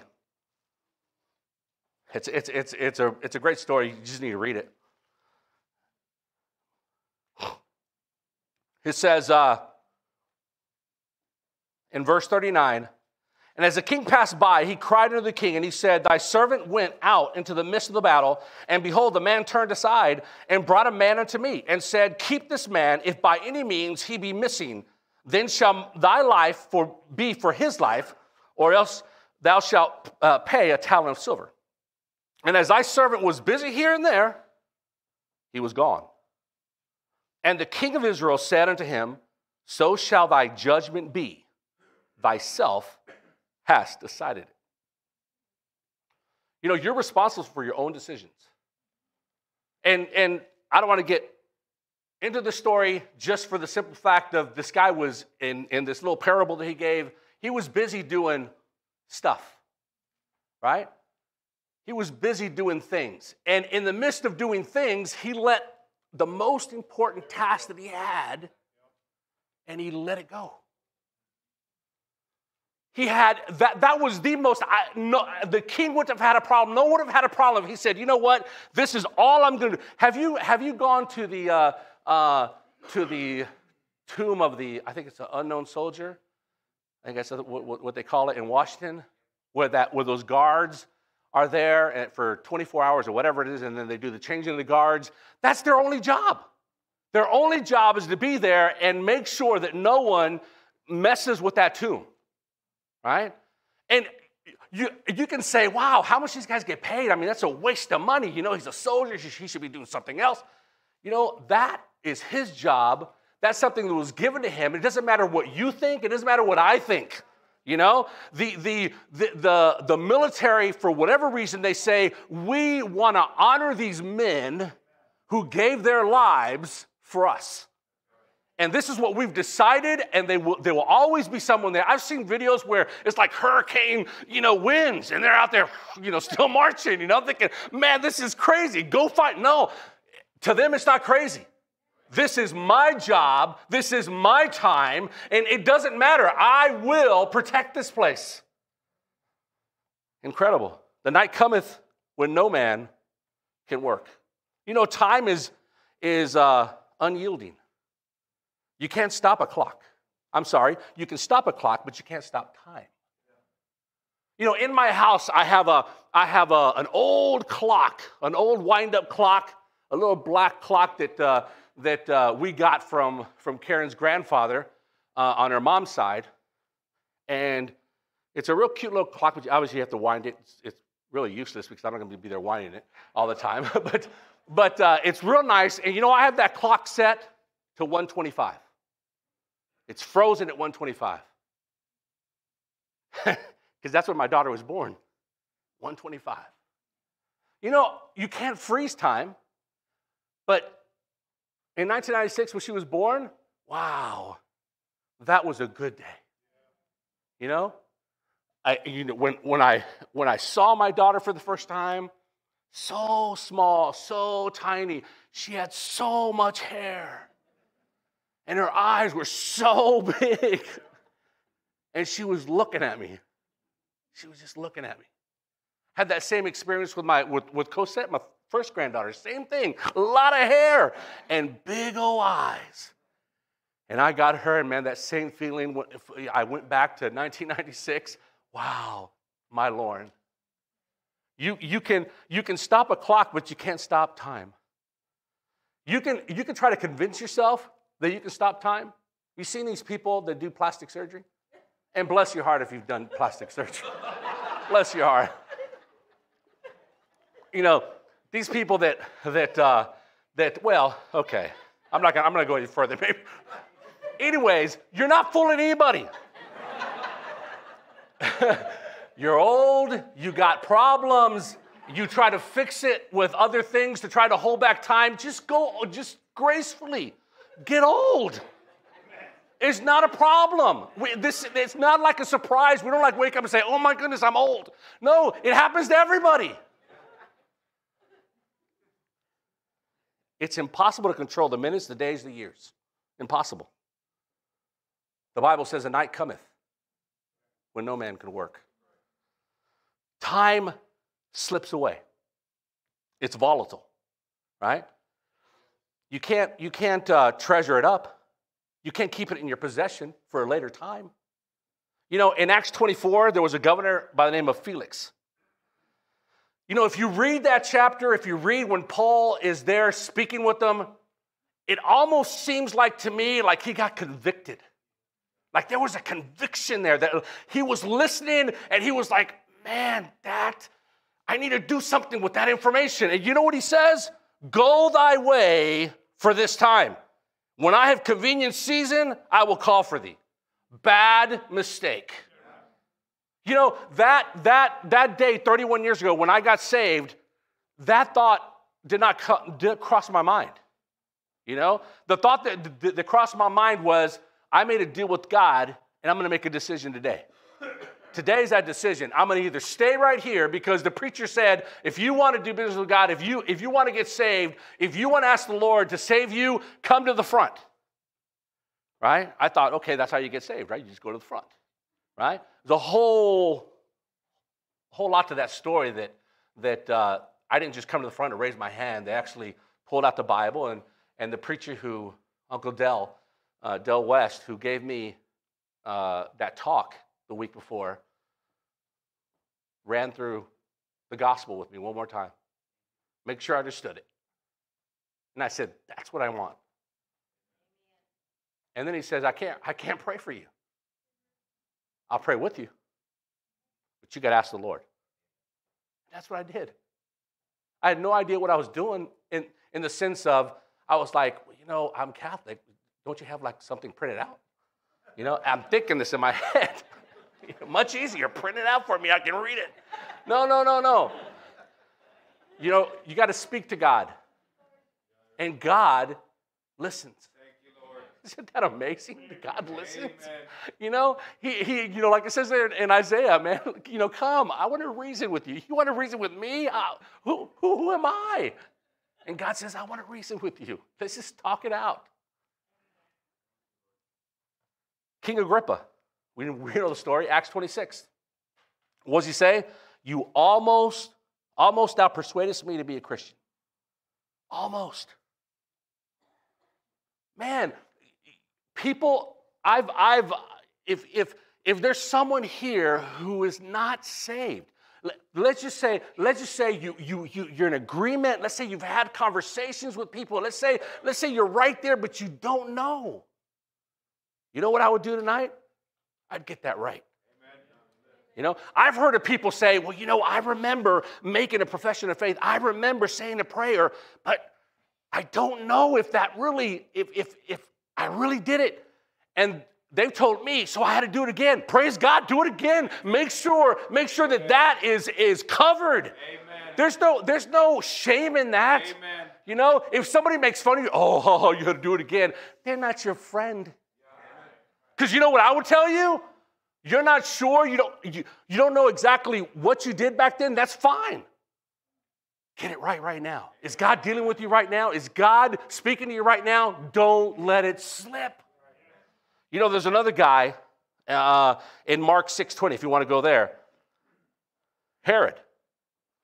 He puts, he puts John in jail, right? You know the story. But it says there in Mark 6:20, for Herod feared John, knowing that he was a just man and a holy, and observed him. And when he heard him, he did many things and heard him gladly. Now, Pick up on that phrase, he did many things. You know, Herod never repented. Herod, Herod cut off John's head. Shortly after that, they had that big old pachanga, and you know, he he told his his uh, his uh, his his stepdaughter or whatever, you know, what do you want? I'll give you, I'll give you, you know, half my kingdom, whatever he said, you know. And she asked her mom and says, the head of John the Baptist. And he had to do it. Well, he didn't have to do it, but he did it. Look what it says there. He did many things. You know what sometimes people do when they and and not only lost people, not only lost people when they're when they're given the gospel, but Christians. They're they're they're so they're so busy in many things to try to shake off what God is trying to tell them. Don't be like Herod. You don't let this thing slip. Don't, don't let this thing go. But you know, in the Bible, some seize the moment. You have, you have people like, uh, like uh, uh, uh, Bartimaeus in, in, in Mark 10. That, that story is incredible because he's there and his name is blind Mar- Bartimaeus. Can you imagine living all your life? Oh, yeah, it's blind Bartimaeus. No, he didn't stay blind all his life. God, Jesus Christ gave him sight, but he was known as blind Bartimaeus. But when he heard that Jesus was coming through there, he started screaming. And you know what they told him? Quiet. Quiet. But you know what? He said, No, no, no, no. I'm not going to let this slip. There was a multitude coming with Jesus Christ. He had to yell, he had to be, he, he had to stir some things up to get what he wanted.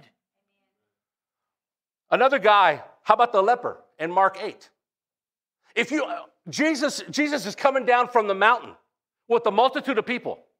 He just preached, he just gave, gave the, the Sermon on the Mount. A, real famous passage in the Bible, right? Even the people who don't believe the Bible, they, they read the Sermon on the Mount and they think it's just such, such beautiful literature.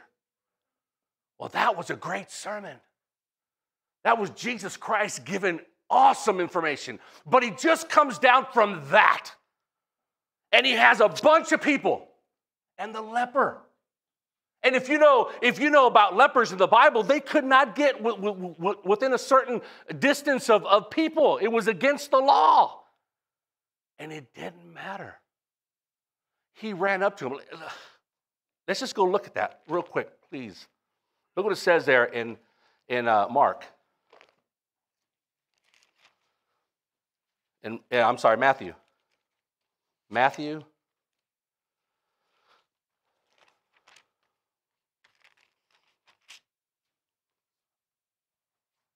Eight. It says, And behold, there came a leper, and in verse 2, and worshiped him, saying, Lord, if thou wilt, thou canst make me clean. And Jesus put forth his hand and touched him, saying, I will, be thou clean. And immediately his leprosy was cleansed. A leper coming up to Jesus and getting a hold of Jesus, and he got what he wanted. Blind, Mar- uh, blind Barnabas, Bart, Bart, Bartimaeus. You know what it says there if you read that story? It says Jesus stood still. He stood still. Do, do, is God dealing with is God dealing with you with something? Salvation, work, getting busy? I don't know what it is. But you know what? You can actually make God stand still. If you cry out to Him and just say, I want to surrender. I want to do what you want. And God says, God, God the creator of all this, He, he, he comes to you and he, he, you, get, you get His attention, His undivided attention. Do you know what that is?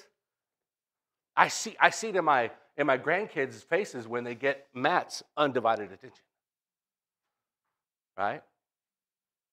They light up. Jesus stood still.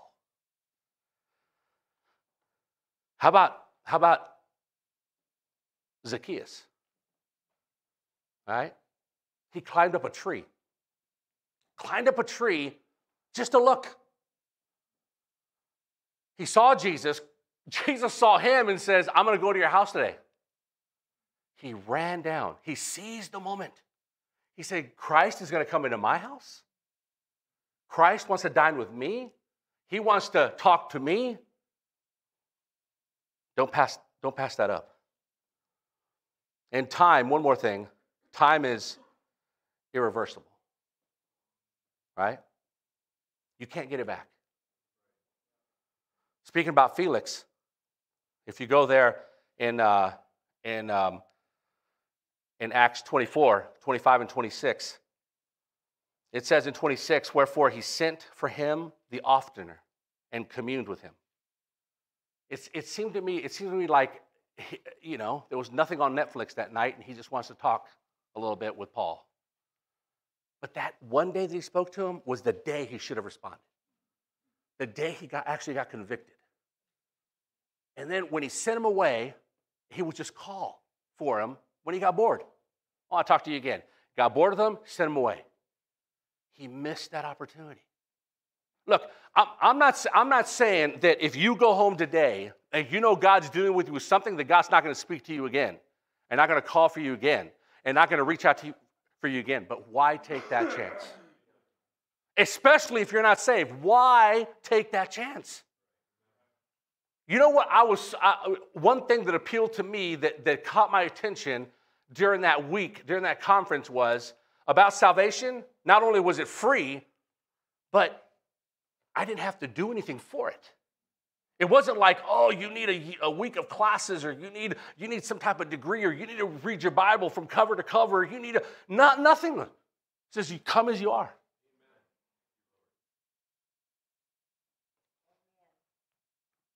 You know, I think I'm just going to end it there.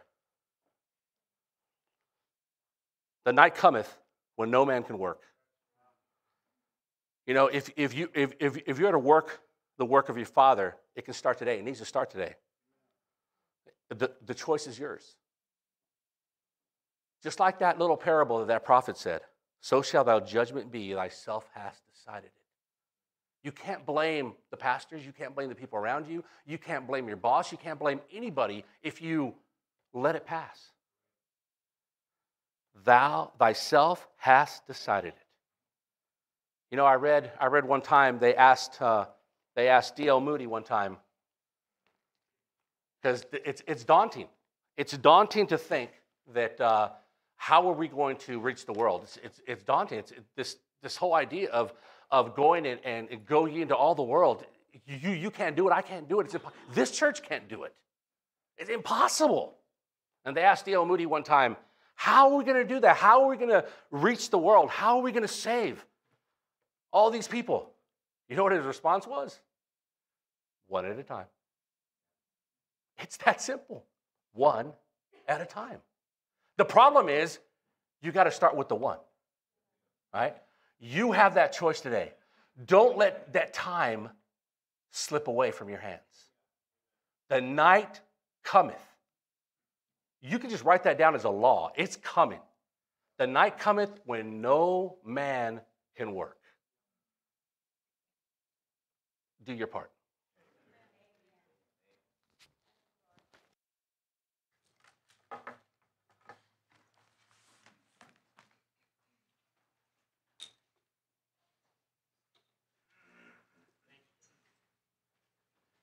You can stand and turn to number 58. We're gonna be, we're gonna sing, and after that, we're gonna have some announcements. But you know, God has spoken to us through His Son, and we have His Word. We've had preachers come this week and they've preached His Word. They've given us exhortations out of His Word, and He has spoken. Uh, if you've been touched, if you've been uh, being dealt with by God through His Word, if He's dealing with you in some area, you need to answer. It's very important. God wants you to answer. And so while we sing this, just think about that, that call of God, what He's dealing with you this week, what has He been, been uh, doing in your life. And if you need to, you need to answer God. You can do it right there in your seat. You can come up and, and pray. You can just, just talk to God, speak to God, respond to Him because He is calling. Let's sing number 58.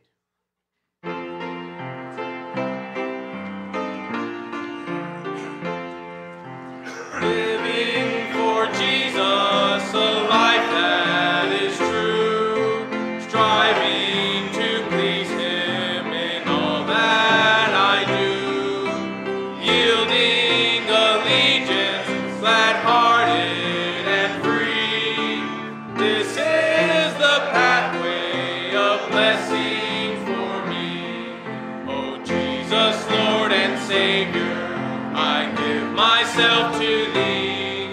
For thou in thine atonement didst give thyself for me.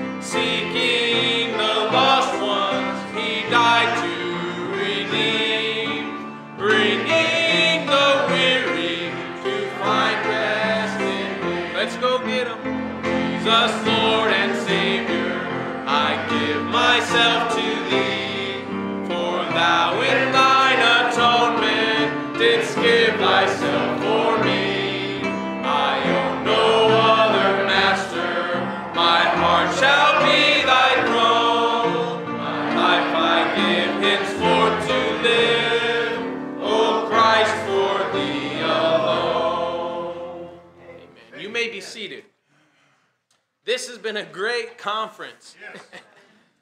it's a great conference, a good week.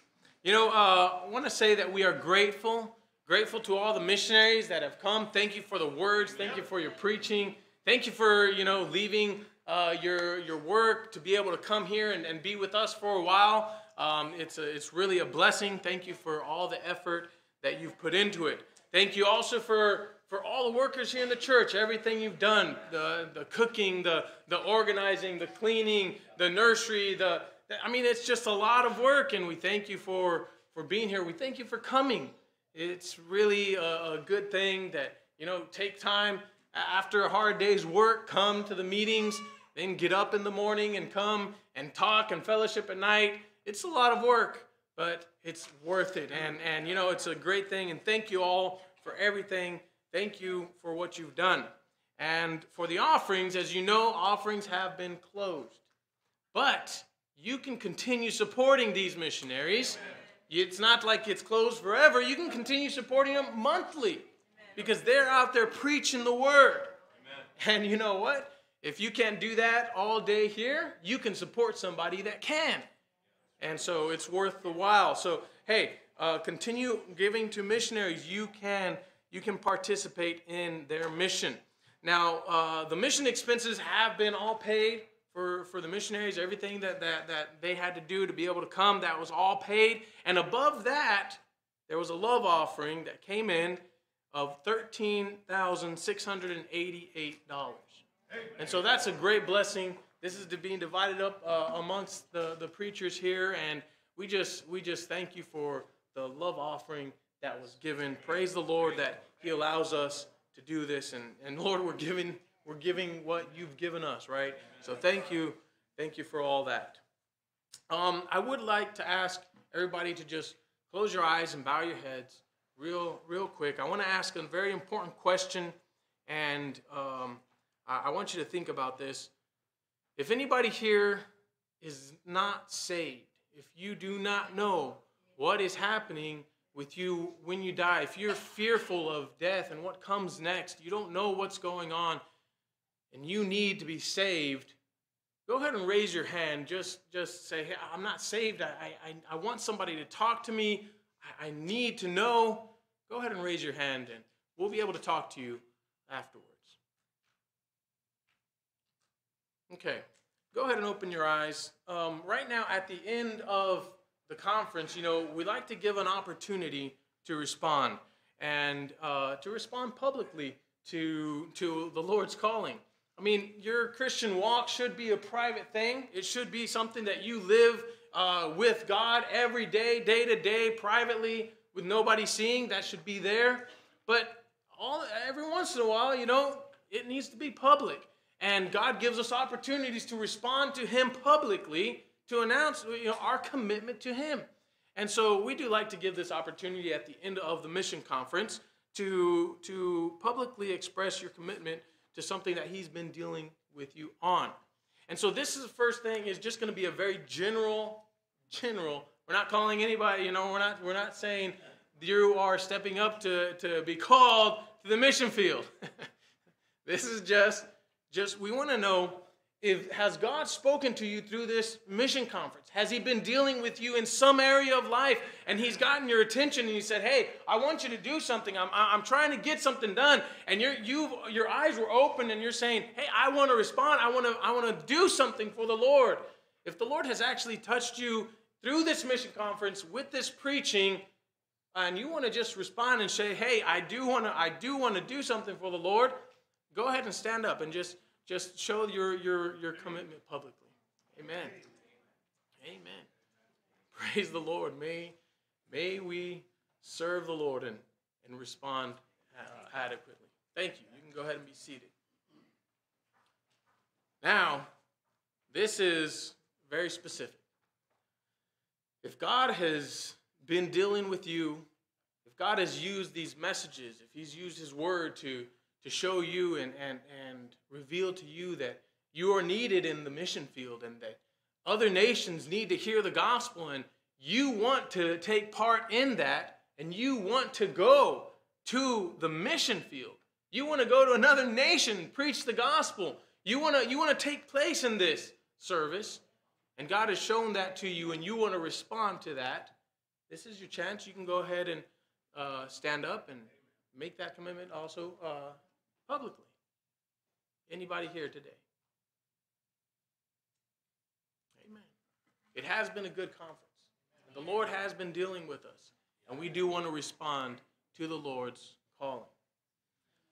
We're going to go ahead and end uh, tonight. I would like ask, Grandpa, could you lead us out in a word of prayer? Father, we thank you for your blessings. We thank you for your moving upon our hearts rejoicing your people. Lord, we thank you for all the prayers you've answered and the blessings you've been. We thank you, Lord, that you hear us.